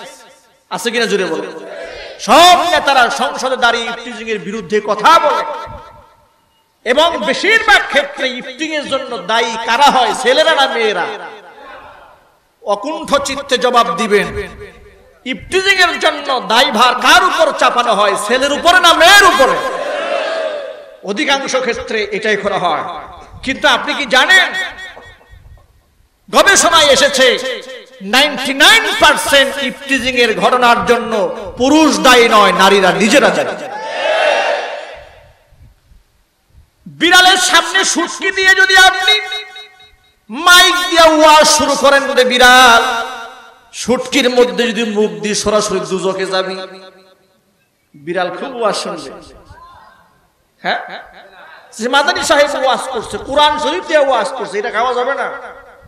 তখন বিড়াল বলবে যে আমার মুখের সামনে সুটকি দিয়ে আবার আমাকেই শাসন করে খাওয়া যাবে না, দুজকে যাবি। এই আইন যে জুলুম আমার উপর চাপিয়েছে, বেত্রাঘাত আমার পিঠে নয়, পঞ্চাশটা বেত্রাঘাত তার পিঠের মধ্যে দেওয়া কথা ঠিক না, চিৎকার দিয়ে বলেন। ঘরের মধ্যে সুটকি মাছ আটকায় রাখার পরে যদি আইন করা হয়, ছিনতাই করে সেখান থেকে খাবার নিয়ে আসলে বেত্রাঘাত হবে, তাহলে মানা যায়। ঠিক কিনা জুড়ে বলেন? রাস্তাঘাটে উলঙ্গ আর বেহায়াপনা করে রাস্তার মধ্যে মেয়েরা চলবে, তার বিরুদ্ধে কেউ কথা বলে না। কোন নেতা বলে না তার বিরুদ্ধে কথা, কোন মন্ত্রী কথা বলে না, কোন এমপি কথা বলে না। আমি জানি না কেন তারা কথা বলেন না, তারাও তো মুসলমান, ঠিক কিনা জুড়ে বলেন? মুসলমান হওয়ার পরে ইসলামিক কালচার যাদের ভালো লাগে না, পর্দার ফরজ বিধান যাদের ভালো লাগে না, কষ্ট হয়। বরং তারা পর্দাকে সাপোর্ট করবেন দূরের কথা। কোন কোন ক্ষেত্রে বাংলার জমিনের মধ্যে এমন নেতা কর্মীও পাওয়া যায়, যারা এ কথা বলতে যাদের মুখের মধ্যে আটে না। কুৎসিত চেহারা ঢেকে রাখার জন্য মেয়েরা নাকি বুরকা পরে জোরে কর নজুবিল্লা কুৎসিত চেহারা ঢেকে রাখার জন্য মেয়েরা বুরকা পরে। এমন কথাও মানুষ বলে, মুসলমানের ঘরে সন্তান। কি আফসুস এই জাতির আফসুস এই- উম্মতের নেতা কর্মীদের জন্য। ঠিক কিনা জন্য বলেন না কেন? আফসোস। এর জন্য শুধু ছেলেদেরকে দায়ী করলে হবে না, মেয়েদের জন্য আইন করা দরকার। আপত্তিকর অঙ্গ প্রত্যঙ্গ স্পর্শকাতর অঙ্গ প্রত্যঙ্গগুলো জাহির করে রাস্তায় চলা যাবে না। দেখা গেল, ঢাকা সিটির বহুত বড় বড় মার্কেট আছে না নাই জুড়ে বলেন? মার্কেটের মধ্যে পুরুষরা দোকানে যাবে, লজ্জায় যেতে পারে না। মহিলাদের বেশভূষা এত খারাপ, এত জঘন্য। দোকানদারেরা পর্যন্ত লজ্জায় মাথা তাদের হেড হয়ে যায়। গেঞ্জি পরে শুধু একটা জিন্সের প্যান্ট পরে, যে পোশাক আমাদের স্ত্রীরা ঘরের মধ্যে পড়তে লজ্জা পায়, সেই পোশাক পরে হাজার হাজার মানুষের সামনে নিজেকে জাহির করে বলছে, তারা নাকি নারী স্বাধীনতা পেয়েছে, তারা নাকি মডার্ন আমি বলি, গায়ের জামা কাপড় ছেড়ে দেওয়ার নাম যদি মডার্ন হয়, তাহলে পৃথিবীর সবচেয়ে মডার্ন প্রাণীর নাম হচ্ছে কুকুর। কথা বলেন না কেন? সবচেয়ে মডার্ন প্রাণীর নাম কি? কুকুর। ওর কোনো নাই। ও সবচেয়ে চির আধুনিক। আধুনিক হয়ে যাচ্ছে। এজন্য আমি আমার ভাষায় বলি, জামা কাপড় গা থেকে খুলে নিয়ে যারা আধুনিকতার দাবি করে, তারা মানুষের সভ্যতার দিকে না গিয়ে কুকুরের সভ্যতার দিকে এগিয়ে যাচ্ছে। আমার মা বোনেরা বিনয়ের সাথে বলি, রাগ আর গুসা নিয়ে নয়। বড় মহাব্বতের সাথে আপনাকে আমি বলি, আল্লাহ যদি বিধান দিয়েছেন, আল্লাহ রাব্বুল কারও উপরে জুলুম করেন না। আল্লাহ পাক বলেন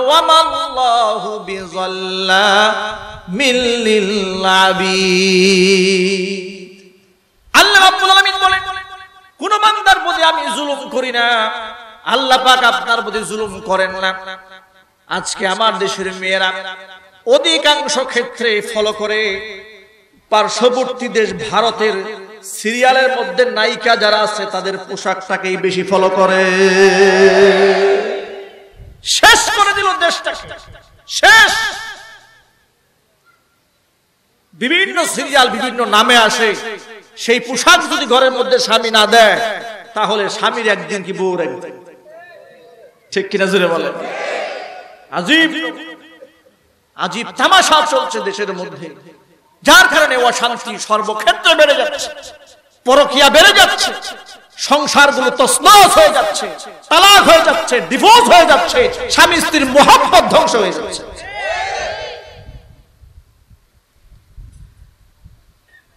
আমি তো বিভিন্ন বয়ানে বলি, যার সাথে যার মোহাব্বত, তার সাথে যার কেয়ামত। ঠিক কিনা জুড়ে বলেন? যিনি যাকে আদর্শ মূর্ত প্রতীক মনে করবে, তার সাথে তার হাসর হবে। আমার মা বোনদের হাসর কাফির বিমান আর মুশরিকদের সাথে হতে পারে না। আমার মা বোনদের হাসর হতে হবে মা খাদিজাতুল কুবরার সাথে।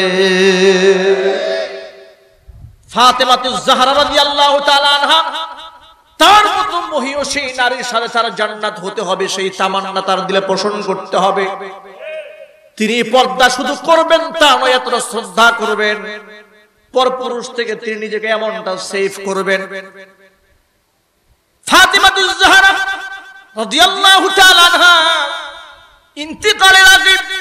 স্বামীকে ডাকতে বলেন, প্রাণের স্বামী আমার আমার মৃত দেহটা রাতের আধারে যদি আমার মৃত্যু হয়ে যায়, দিনের বেলায় কাফন দেয়া নয় রাতের বেলায় কাফন পরিয়ে গোপনে আমাকে কবরের মধ্যে মাধ্যম করে দিবা। বড় একটা চাদর দিয়ে আমার লাশটাকে ঢেকে দিবা। যাতে করে দুনিয়ার উম্মতে মোহাম্মদের কেউ বলতে না পারে নবীর মেয়ে ফাতেমা। এতটুকু মোটা ছিল আর এতটুকু লম্বা ছিল, চিৎকার দিয়া বলেন সুবাহান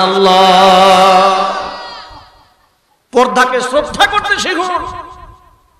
মা বোনেরা, এগিয়ে আসুন এই পর্দার দিকে। আল্লাহ পাক আপনাকে সম্মান দিবে। আপনাকে ইজ্জত দিবে। আপনার পেটের সন্তানটা ভালো হবে। পেটের সন্তানটা বুজুর্গ হবে, আল্লাহর অলি হবে, হাফেজ কোরআন হবে, আলেম দিন হবে। ঠিক কিনা? প্রবাদ কথায় আছে, গাছ যেমন তার ফল তেমন হয়। আমার দেশে আর একটা প্রবাদ আছে। আমাকে একটা শিক্ষিতা মা দাও, আমি তোমাকে একটা শিক্ষিত জাতি উপহার দেব। আমি আমি আমার ভাষায় এই প্রবাদটাকে নকল করে আর একটা প্রবাদ বলি। আমাকে একটা পর্দানিসীন দিনদার মা দাও, আমি তোমাকে ইফটিজিং মুক্ত সমাজ দেব। ঠিক কিনা বলেন? আমাকে পর্দানিসীন মা দাও, আমি ইফটিজিং মুক্ত সমাজ দেব, চরিত্রবান যুবক উপহার দেব। আজকে আমার যুবকরা ধ্বংস হচ্ছে, কি জন্য? বেপর্দা মহিলাদের কারণে যুবকদের চরিত্র শেষ হয়ে যাচ্ছে। আল্লাহ পাক আমার মা বোনদের হেফাজত করেন, আমার যুবক ভাইদেরকে হেফাজত করেন। আপনাদের কষ্ট হচ্ছে? কষ্ট হচ্ছে? আমার বন্ধুগণ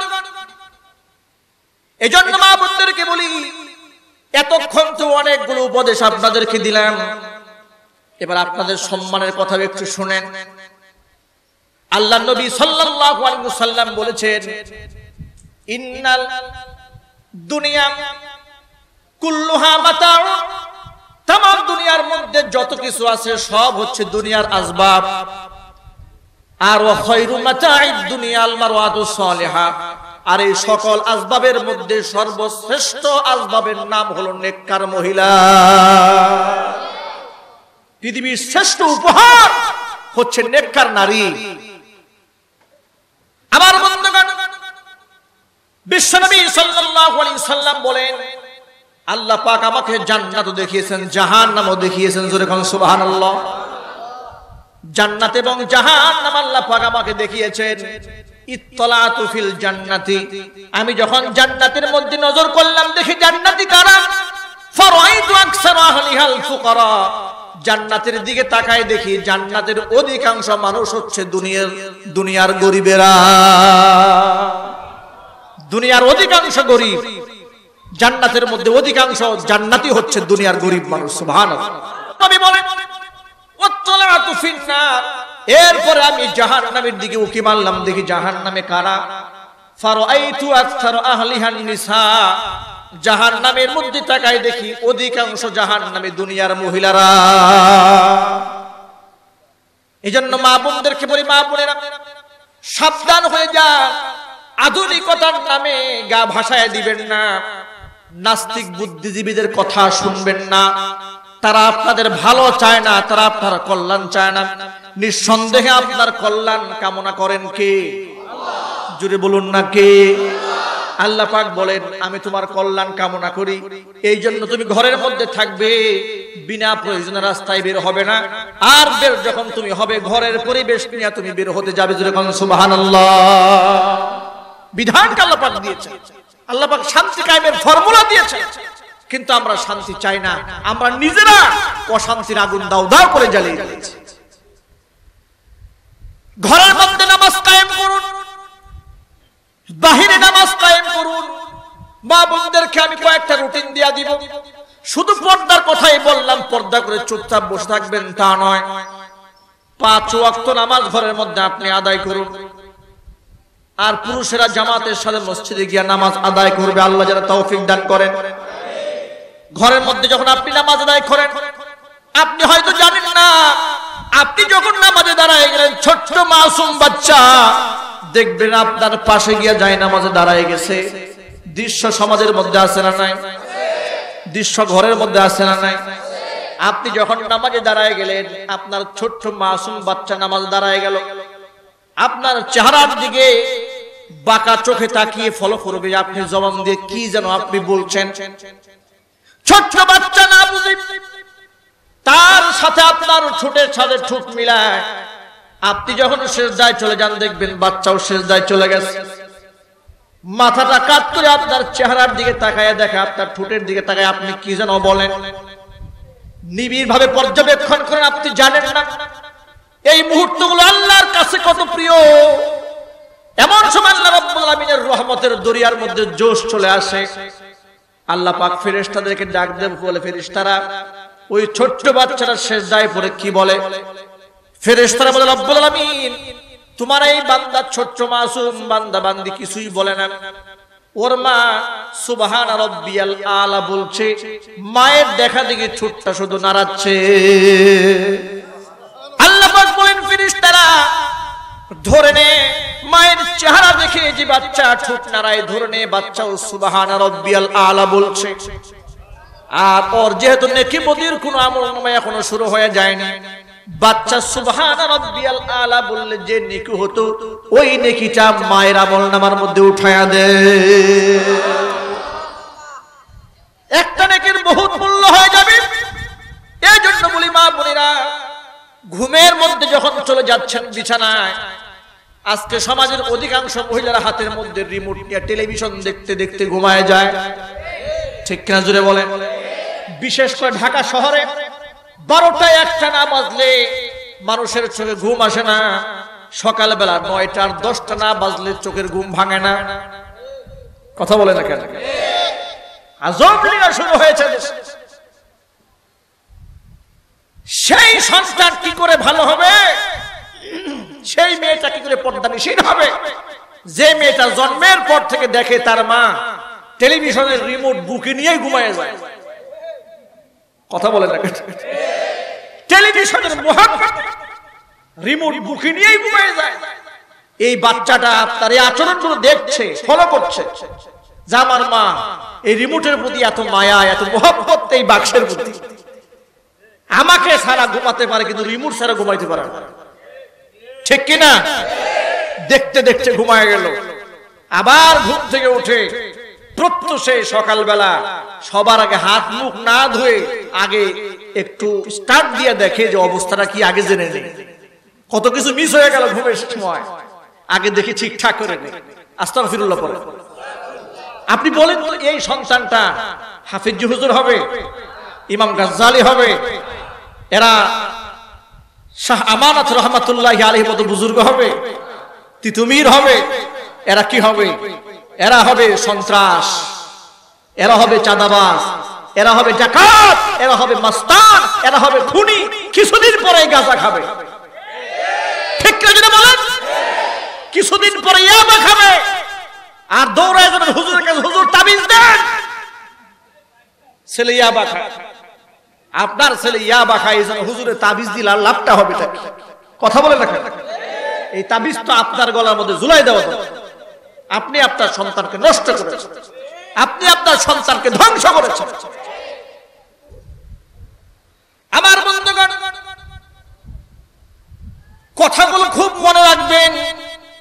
ওয়াজ মাহফিল তো জীবনে অনেক শুনেছেন, বহুত বয়ান হয় প্রত্যেক দিন ওয়াজ হয়। কিন্তু বাড়ি নিয়ে যাওয়ার মতো ওয়াজ সমাজের মধ্যে খুব কম হয়। ঠিক কিনা বলেন? কিচ্ছা কাহিনী দিয়ে ওয়াজের ময়দান দখল করা হয়েছে। এই জন্য উম্মতের হেদায়ত হচ্ছে। উম্মত কোরআন এবং সুন্নার সঠিক খুরাক পাচ্ছে না। সমাজ পরিবর্তন হচ্ছে না। আমার গার্জিয়ানদেরকে জানতে হবে, প্রত্যেকটা ব্যক্তি আপন জায়গায় দায়িত্বশীল আমি আমার বক্তৃতার ময়দানে দায়িত্বশীল।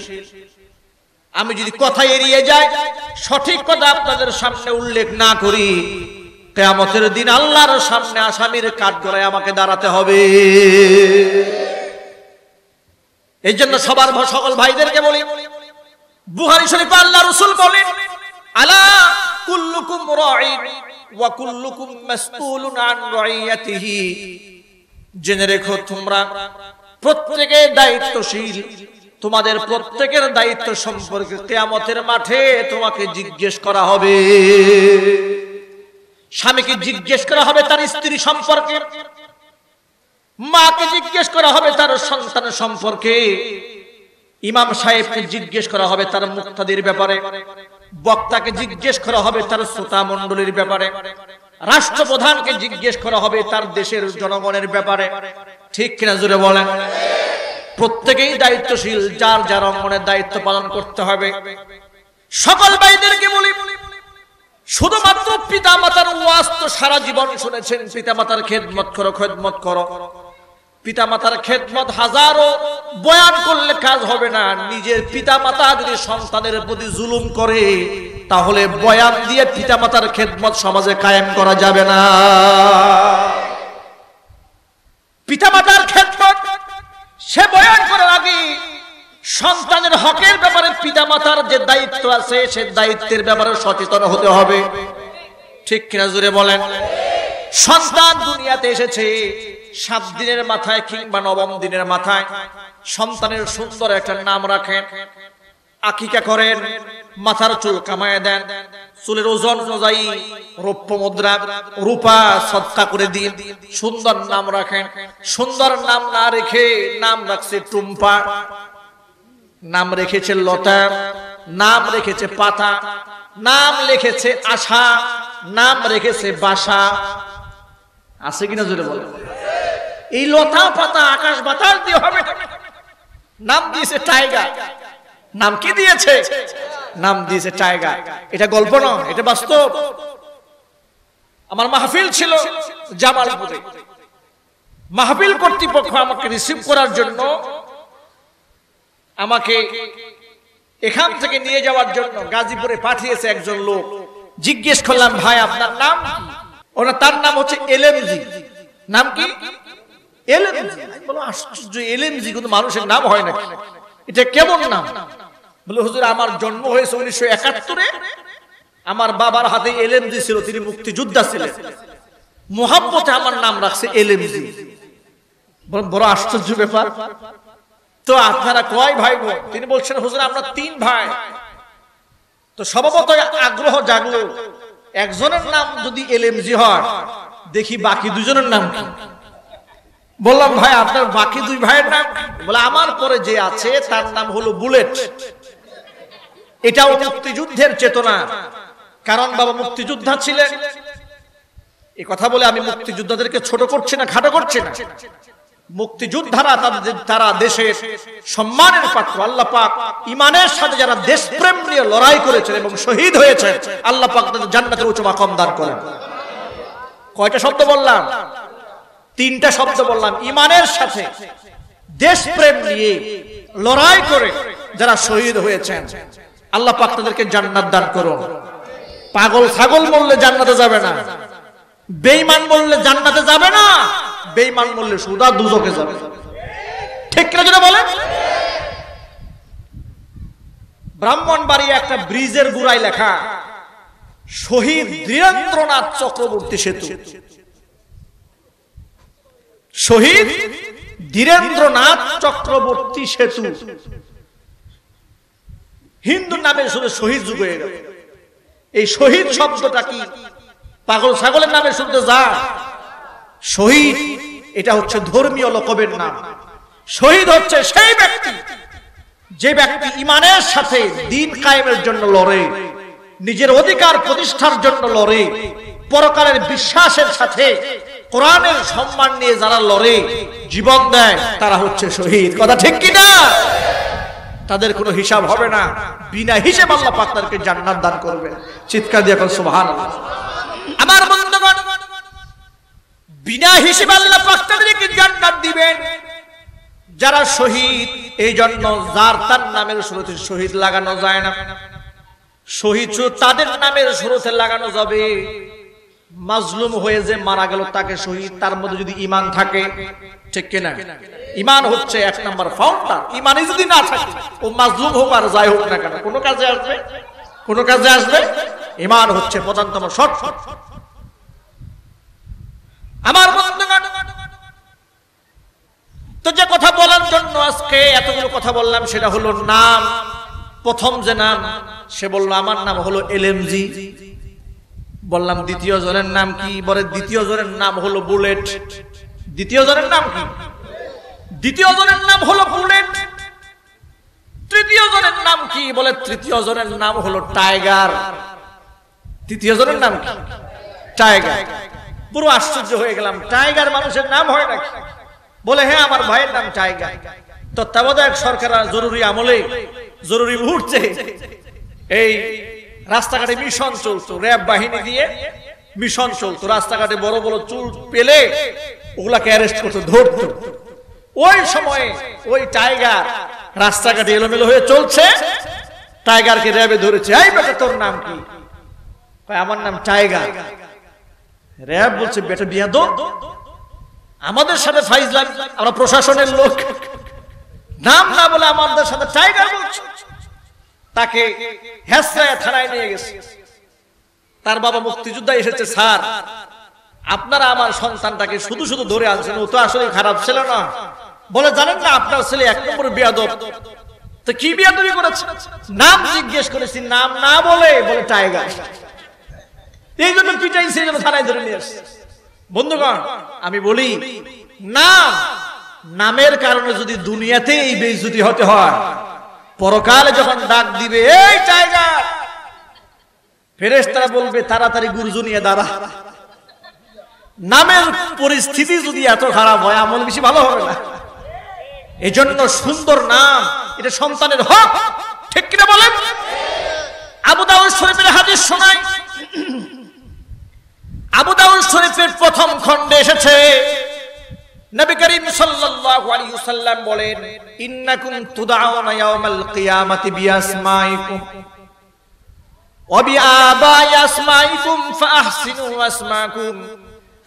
দিন তোমার নাম ধরে, তোমার বাবার নাম ধরে লক্ষ কোটি মানুষের আল্লাহ পাক তোমাকে ডাক দিবে। সুন্দর সুন্দর নাম রাখো, ভালো ভালো নাম রাখো। কেয়ামতের মাঠে অসংখ্য মানুষ শুধু নামের অসিলে আল্লাহ মাফ করে দিবে এই জন্য ভালো নাম রাখো। এই জন্য গার্জিয়ানদেরকে বলি, অবশ্যই আপনার সন্তান আপনাকে সম্মান করবে, কিন্তু সেই সম্মানের প্ল্যাটফর্মে সন্তানকে আপনাকেই পৌঁছাতে হবে, কথা ঠিক কিনা? আমি আমার সন্তানকে যদি কোরআনী কারিমের সেই আয়াতটা শিখাইতে পারতাম, এই কোরআনে কারিমের মধ্যে সুরাই বাণী ইসরাইলের তেইশ নম্বর আয়াতে পনেরো নম্বর পাড়ার তৃতীয় নম্বর পৃষ্ঠার ভিতর আল্লাহ বলেন, ওয়াকদ রব্বুকা আল্লা তাবুদু ইল্লা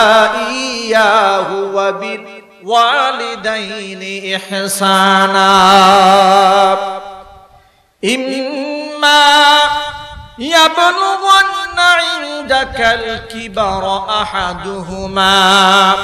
او كلاهما فلا تقل لهما اف ولا تنهرهما وقل لهما قولا كريما আমার বন্ধুগণ আল্লাহ রাব্বুল আলামিন বলেন তোমার রব আমি আল্লাহ পাকের নির্দেশ হলো প্রথমত আমি আল্লাহ পাকের ইবাদত করবা। আমি আল্লাহর পরে তোমার বাবা মার খেদমত করবা। জোরে কোন, সুবহানাল্লাহ। বিষয় হলো, আল্লাহ বলেন, তোমার বাবা কিংবা তোমার মা যদি তোমার কাছে বার্ধক্যে উপনীত হয়ে যায়, ইম্মা ইয়াবলুগান্না ইনদাকাল কিবারু আহাদুহুমা।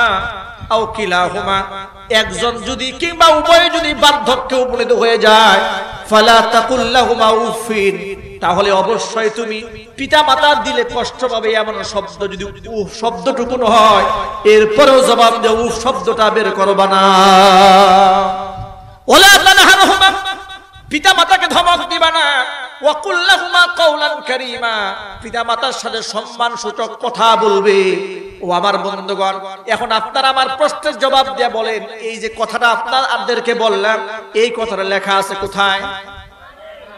বাংলা বইয়ে লেখা আছে, ইংরেজি বই লেখা আছে, সমাজ বই লেখা আছে, বিজ্ঞানের বই লেখা আছে, যে কিতাবের মধ্যে লেখা আছে তার নাম কি? আরও জোরে বলেন। তাহলে যে কোরআন আপনার সন্তানকে পিতা মাতার প্রতি শ্রদ্ধাশীল হওয়া শেখায়, আপনি কোরআন শরীফটা শেখালেন না আর সব শিখাইলেন। আপনি একটু বিবেকের কাছে প্রশ্ন করে বলেন, এই সন্তান যদি বড় অফিসার হয়ে যায়, কেন সে আপনাকে সম্মান করবে?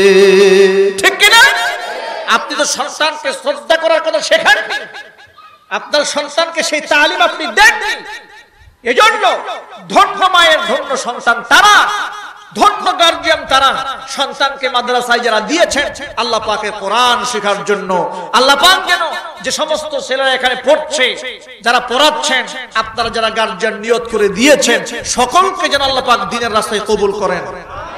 সকলে আমি আমার বন্ধুগণ, আজ পর্যন্ত একটা এক্সাম্পল দিতে পারবেন যে আলেম, টাকা পয়সা যত কম ইনকাম হোক না কেন কিন্তু বাপ মাকে দেখাশোনা করে না, বাবা মার খেদমত করে না, বাপ মাকে ভরণ পোষণ দেয় না। এমন নজিরা কিংবা কোন আলেমের বাবা মাকে বৃদ্ধাশ্রমে খুঁজে পাওয়া গেছে, এমন নজিরা কি বাংলার জমিনে আছে?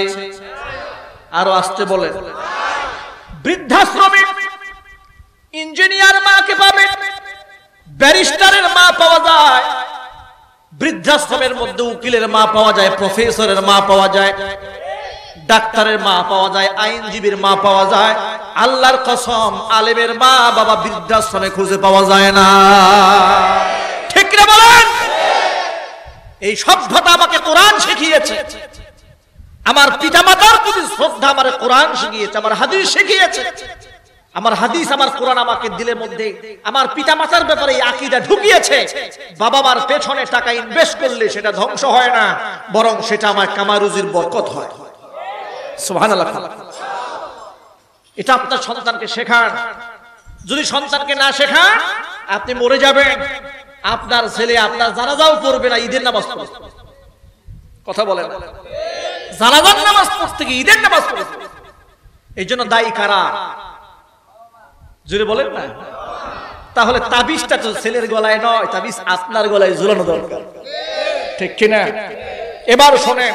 যারা দায়িত্ব পালন করলেন না কিয়ামতে তাদের অবস্থাটা কি হবে কোরআনে কারিম আল্লাহ রাব্বুল আলামিন বলেন 24 নম্বর পারার 19 পৃষ্ঠার শুরুতে সূরা হামিম আস-সাজদার মধ্যে আল্লাহ পাক বলেন وقال الذين كفروا ربنا أرنا الذين أضلانا من الجن والإنس نجعلهما تحت قدامنا ليكونا من الأسفلين কামতের ময়দানে কাফেরদের জন্য যখন জাহান নামে যাওয়ার ফয়সালা হয়ে যাবে অস্বীকারীদের জন্য অস্বীকারীরা জাহান নামে যখন যাবে তখন তারা বলবে রব্বুল আলামিন আরিনাল্লাযাইনি আদাল্লানা মিনাল জিন্নি ওয়াল ইনসি জিনের মধ্য থেকে যারা জাহান নামে যাবে, তারাও বলবে। মানুষের মধ্য থেকে যারা আছে, তারাও বলবে। ওই সমস্ত গার্জিয়ানদেরকে আমার সামনে ডাকা হোক। একা একা জাহান নামের আগুনে জ্বলবো না। কারণ হলো, একটা দিন যদি স্কুল কিংবা কোচিং সেন্টারে না যেতাম, গার্জিয়ান আমাদেরকে পিটাতো। গার্জিয়ান আমাদেরকে খাবার দিত না। ঘর থেকে দূর দূর করে তাড়িয়ে দিয়েছে, ক্লাস মিস দেওয়ার কারণে। কিন্তু জিন্দিগিতে কোনোদিন আমার বাপ মা আমাকে নামাজের তালিম দেয় নাই। মাস্টার্স ডিগ্রি পর্যন্ত পড়িয়েছে। লক্ষ লক্ষ টাকা ডাক্তার, ইঞ্জিনিয়ার বানাবার পেছনে ব্যয় করেছে। কিন্তু আল্লাহ, তোমার কোরআন শেখাবার পেছনে বাপ মা পাঁচটা কোটি টাকা ব্যয় করে নাই। পাঁচটা পয়সা ব্যয় করল না। যদি আত্মীয় বাড়ি বেড়াতে না নিতাম, বাবা মা কষ্ট পেত, কিন্তু মসজিদে না গেলে জীবনে বাবা মা কষ্ট পেত না। আজকে জাহান নামের আগুনে জ্বলবো, নিজের আমলের কারণে না পিতা মাতার এই সমস্ত বদ আমলের কারণে তো আমরা জাহান নামে যাব। অতএব আমরা জাহান নামে একা যেতে চাই না। ওই সমস্ত গার্জিয়ানদেরকে সামনে আনা হোক। আমাদের না তাহতা কুদামিনা পায়ের নিচে তাদেরকে পিসবো তাদের বুকের মধ্যে পাড়া দিয়া সকলে মিলে জাহান নামে আগুনে হয়ে যান সন্তানকে আদর করে সকালবেলা ঘুম পাড়ায় রাখেন। ফজরের নামাজের সময় ডাক দেন না, ছেলের ঘুমে কষ্ট হবে। মেয়ের ঘুমে বেঘাত সৃষ্টি হবে, সকালবেলা ডাক দেন না। আল্লাহর কসম আল্লাহর কসম আল্লাহর কসম। তিনটা কসম করে বললাম, এই সন্তান কেয়ামতের ময়দানে আপনাকে আসামির কাঠ গড়াই দাঁড় করাইয়া দিবে। সচেতন হন। শুধুমাত্র খেদমতের আশায় থাকবেন না, খেদমত পাওয়ার উপযুক্ততা আগে হাসিল করেন। সন্তানকে নামাজের সময় এলাট করেন। আল্লাহ রসুল বলেন, সাত বছর বয়স যখন হয়ে যায়, সন্তানকে নামাজের জন্য তামরিন করো। নামাজ ছেড়ে না সারে তাকে নামাজের জন্য প্র্যাকটিস করা দশ বছর যখন হয়ে যাবে, নামাজ যদি না পড়ে বেদ দিয়ে পেঁচাও, নামাজ যদি না পড়ে বেদ দিয়ে আঘাত করো। বিশ্বনবী আলাইহি সাল্লাম কঠোর ভাষায় কথাগুলো বলেছেন শুধুমাত্র হাদিসগুলা আল্লাহর নবী বিনা প্রয়োজনে একটা কথাও বলেন নাই। জোরে কোন, সুবহানাল্লাহ। বিনা প্রয়োজনে একটা কথাও বলেন নাই। রসুল বলেছে, সাত বছর বয়সে প্র্যাকটিস করা দশ বছর বয়সে নামাজ না পড়লে বেদ দিয়ে পিটাও। আল্লাহ আকবার বলেন। আমার বন্ধুগণ এই জন্য বলি, সকলের দায়িত্বশীল, প্রত্যেকেই তার দায়িত্ব সম্পর্কে জিজ্ঞেস করা হবে। আমি তো দেশের রাষ্ট্রনায়ক নই, গোটা দেশটাকে আমি ভালো বানাবো, তার দায়িত্ব আমার নয়। কিন্তু অন্তত পক্ষে যে স্টেজ আমি যাব অন্তত পক্ষে দু একটা কোরআন সুন্নার সঠিক কথাগুলো আপনার কানের মধ্যে পৌঁছায়া দেওয়া, এটা আমার ইমানের দায়িত্ব। সন্তানকে কোরআন শেখা, কোরআনের পেছনে টাকা ঢালেন। লক্ষ লক্ষ টাকা সব জায়গায় ব্যয় করতে পারে। যদি বলে, কোরআন শিক্ষার পেছনে মাসে পাঁচশো টাকা ব্যয় করেন, তখন আর পকেট থেকে টাকা বের হতে চায় না। ঠিক কেন বলে? এর পেছনে কারণ এটা গুরুত্বহীন কিতাব। এর কোনো দাম নাই। Optional subject.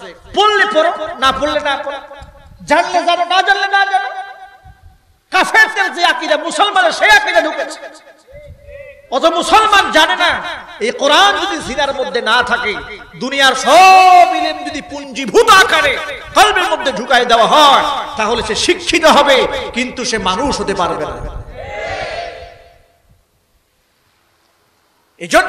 সকল গার্জিয়ানদেরকে বলি, কোরআনের পেছনে সময় দিন, কোরআনকে শিখুন, নিজেরা শিখুন, সন্তানকে শেখান, পারব ইনশাল্লাহ দুনিয়াতে আল্লাহ সম্মান দিবে, আখেরাতেও সম্মান দিবে। কামতের ময়দানে কোরআনে কারীম মানুষের জন্য সুপারিশকারী হয়ে যাবে। সন্তানকে হাফেজ বানাবার নিয়ত করেন কিয়ামতের ময়দানে। হাফেজ কোরআনের পিতা মাতাকে আল্লাহ এত সম্মান দিবে, এত ইজ্জত দিবে। হাফেজ কোরআনের পিতা মাতাকে দেখে দুনিয়ার অন্য মানুষরা মনে করবে, এই লোকেরা মনে হয় দুনিয়ার মধ্যে নবী ছিল জোরে সুবহানাল্লাহ। এত সম্মান আল্লাহ নূরের সিংহাসন দিবে, নূরের তাজ পরাই দিবে। এগুলা দেখে হাসরের মধ্যে মানুষ মনে করবে, এরা বোধহয় নবী রসুল ছিল। তারা বলবে যে না, এরা নবী রসুল নন, এরা হচ্ছে দুনিয়াতে হাফেজের বাবা মা। আরও আস্তে কত সম্মান। এই সম্মানের ভাগিদার আপনি হন। এটা দুনিয়াতেও আপনাকে সম্মান দিবে, আখিরাতেও সম্মান। কে বলেছে? কোরআন যারা পড়ে তাদের সম্মান নাই। কে বলেছে সম্মান নাই? আল্লাহর কসম, কোরআন পড়ার কারণে যে সম্মান আল্লাহ আলেমদেরকে দিয়েছে, দুনিয়ার কোন রাজা বাচ্চাকেও সেই সম্মান আল্লাহ দেয় রাজা বাচ্চাকে সামনে সেলট দেয়, পিছনে গালি দেয়। ঠিক কিনা বলে না কেন? নেতা কর্মী সামনাসামনি সালাম দেয়। আর পেছনে পেছনে বলে, ওর মতো শয়তান গোটা মিরপুরেও নাই। ঠিক কিনা? সামনে বলে এক কথা, পেছনে বলে আরেক কথা। আলেমকে সম্মান করে তার চেহারার কারণে নয়, তার ড্রেসআপের কারণেও নয়। তার মধ্যে কোরআনের ইলিম থাকার কারণে বড় বড় ডাক্তার, ইঞ্জিনিয়ার, লয়ার, ব্যারিস্টাররা আলেমদের জুতা পরাইয়ে দেওয়ার জন্য সিরিয়ালে লেগে যায়। বহুত বড় বড় ডাক্তার, ইঞ্জিনিয়ার। আমার এই অল্প ক্ষুদ্র বয়সে আমাদের বাবার বয়সের লোকেরা দৌড়ায় জুতা নিতে আসে। লজ্জায় অনেক সময় আমি দেই না। কিন্তু মনে মনে পরক্ষণে চিন্তা করি যে এই সম্মান তো আল্লাহ পাক আমাকে দেয় নাই, দিয়েছে আল্লাহর কোরআনকে ঠিক কেন ধরে বলে যে আমার বাবার বয়সের একটা ডাক্তারের জুতা, কেউ নেবে ইঞ্জিনিয়ারের জুতা, কেউ নেবে কেউ নেবে কিন্তু আলেমের স্যান্ডেলটা ধরার জন্য কত মানুষ পাগল থাকে। আল্লাহ বুটবাজার কেন্দ্রীয় জামে মসজিদে যখন জুমার নামাজে যায়, কত মুসল্লি দৌড়ে আসে জুতাটা নেওয়ার জন্য। জুতাটা পরে দেওয়ার জন্য জুতার ফিতা পর্যন্ত লাগাই দিচ্ছে, কারা দিচ্ছে? সমাজের এলিট পিপল যারা, সম্ভ্রান্ত শ্রেণির লোকেরা আমাদের জুতা পরাই দেওয়ার জন্য প্রস্তুত হয়ে যাচ্ছে, প্রতিযোগিতা করছে তারা। তখন আমার কাছে কোরআনের এই আয়াতগুলো মনে পড়ে যে, এই সম্মান তো আমারও নয়। এই সম্মান হচ্ছে আল্লাহর কোরআনের, এই সম্মান হচ্ছে নবীজির সুন্নতের, কথা ঠিক কিনা?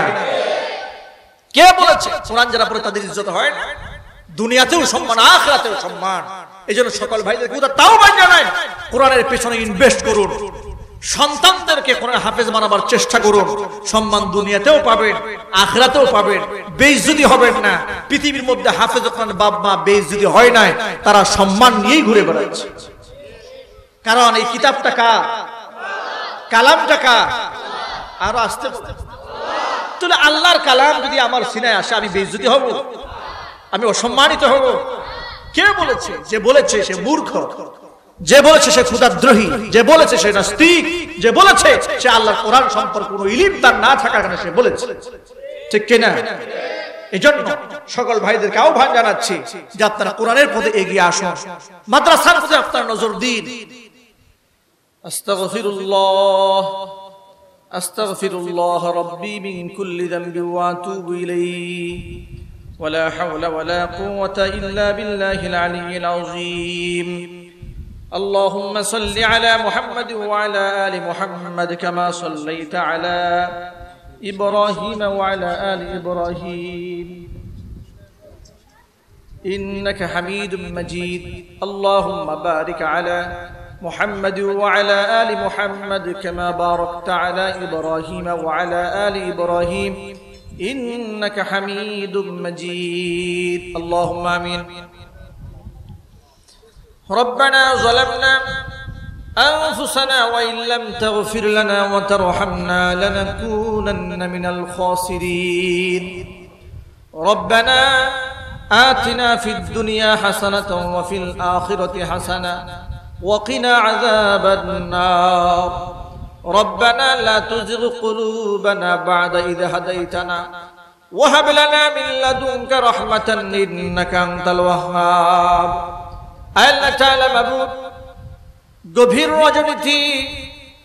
তোমার হাজার হাজার বান্দা বান্দিদেরকে সাথে নিয়ে তোমার শাহী দরবারে বড় আশা নিয়ে হাত দুখানা বাড়িয়ে দিলাম। আল্লাহ তাআলা মেহেরবানি করে আমাদের সকলের দিলের নেক বাসনাগুলি পরিপূর্ণ করে দাও। আল্লাহ তাআলা, এই মাহফিলকে তুমি কবুল করে নাও। এই মাদ্রাসাকে কিয়ামত পর্যন্ত কবুল করে নাও। আল্লাহ, মাদ্রাসা যত হাজত রয়েছে তোমার গায়েবে খাজনা থেকে মিটিয়ে দাও। আল্লাহ তাআলা যত ভাইরা, বোনেরা আজকে হাত তুলে ধরেছেন, আমাদের আত্মীয় স্বজন যারা অন্ধকার কবরে চলে গেছেন, কবর আজাব তুমি মাফ করে দাও। আল্লাহ তাআলা দুনিয়ার সামান্যতম আগুন আমরা সহ্য করতে পারি না জাহান নামের আগুন আমরা কেমনে সহ্য করব? মাবুদ গো, মেহেরবানি করে জাহান নামের আগুন থেকে আমাদের মুক্ত করে দাও। আল্লাহ তাআলা আমাদের সকলের জন্য জান্নাতের ফয়সালা করে দাও। আল্লাহ তাআলা আমার মা বোনদেরকে পর্দাশীল হয়ে চলার তৌফিক দান করে দাও। আল্লাহ তাআলা আমার যুবক ভাইরা, পাঁচ ওয়াক্ত বা জামাত নামাজ আদায় করতে পারে। আল্লাহ তাআলা নিজের হেফাজত করে চলতে পারে, সেই তৌফিক তুমি দান করে দাও। আল্লাহ তাআলা পাশেই কবরস্থান, হাজার হাজার মানুষ আল্লাহ দুনিয়ার জমিন থেকে চলে গেছে। কবর মাটিতে মাদফুন হয়ে আছে, কিয়ামত পর্যন্ত কবর আযাব মাফ করে দাও। আল্লাহ যে মাদ্রাসার ওসিলা করে আজকের এই মাহফিলের আয়োজন, এই মাদ্রাসার যত হাজত রয়েছে তোমার গাইবে খাজনা থেকে মিটিয়ে দাও। মাদ্রাসার সকল আসাতিজাই কিরাম, ছাত্র গার্জিয়ান, মুহিব্বিন মুতাআল্লিকিন সংশ্লিষ্ট ব্যক্তিবর্গ যারা আছেন, এই মাদ্রাসার ওসিলায় সকলকে মাফ করে দাও। আল্লাহ তাআলা হাত তুলে ধরেছে, দাড়ি চুল সাদা হয়ে গেছে। আয় আল্লাহ তাদের নেক হায়াত করে দাও। বিগত জিন্দগির গুনার খাতা মাফ করে দাও। সামনে যতদিন হায়াত পায়, তোমার মর্জি মুআফিক চলার তৌফিক দান করে দাও। আমার যুবক ভাইয়েরা হাত তুলে ধরেছে, যুবক ভাইদেরকে ইসলামের সিপাহ সালার বানায়া দাও। মা বোনেরা হাত তুলে ধরেছেন, মা খাদিজাতুল কুবরা রাদিয়াল্লাহু তাআলা আনহার মতো দিনদার বানিয়ে দাও। আল্লাহ তাআলা কিয়ামতের দিন কঠিন ময়দানে মানুষ যেদিন পানি পানি বলে চিৎকার মারতে থাকবে, তোমার হাবিবের হাতে হাউজে কাউসারের ফয়সালা করে দাও। কোরআনে কারিমে আমাদের সকলের জন্য ওয়াজিব করে দাও। আল্লাহ তাআলা টাকা দিয়ে, পয়সা দিয়ে, বুদ্ধি দিয়ে, শ্রম দিয়ে, সময় দিয়ে মাহফিলের আয়োজন যারা করেছেন, দূরদারাজ থেকে যারা শোনার জন্য এসেছেন, কিয়ামতের দিন এই মাহফিল আমাদের সকলের জন্য নাজাতের জরিয়া বানিয়ে দাও। আল্লাহ তাআলা অনেকে অসুস্থ আছেন দোয়া চেয়েছেন আল্লাহ তাআলা মেহেরবানি করে সকলকে শেফায়ে কামিলা আজিলা দান করে দাও আমাদের মধ্যে যারা পেরেশানির মধ্যে আছে মেহেরবানি করে পেরেশানি দূরীভূত করে দাও রব্বির হামহুমা কামা রব্বায়ানি সগীরা تقبل منا إنك أنت السميع العليم وتب علينا إنك أنت التواب الرحيم سبحان ربك رب العزة عما يصفون وسلام على المرسلين والحمد لله رب العالمين وجعلنا آخر كلمتنا عند الموت لا إله إلا الله محمد رسول الله. السلام عليكم ورحمة الله وبركاته.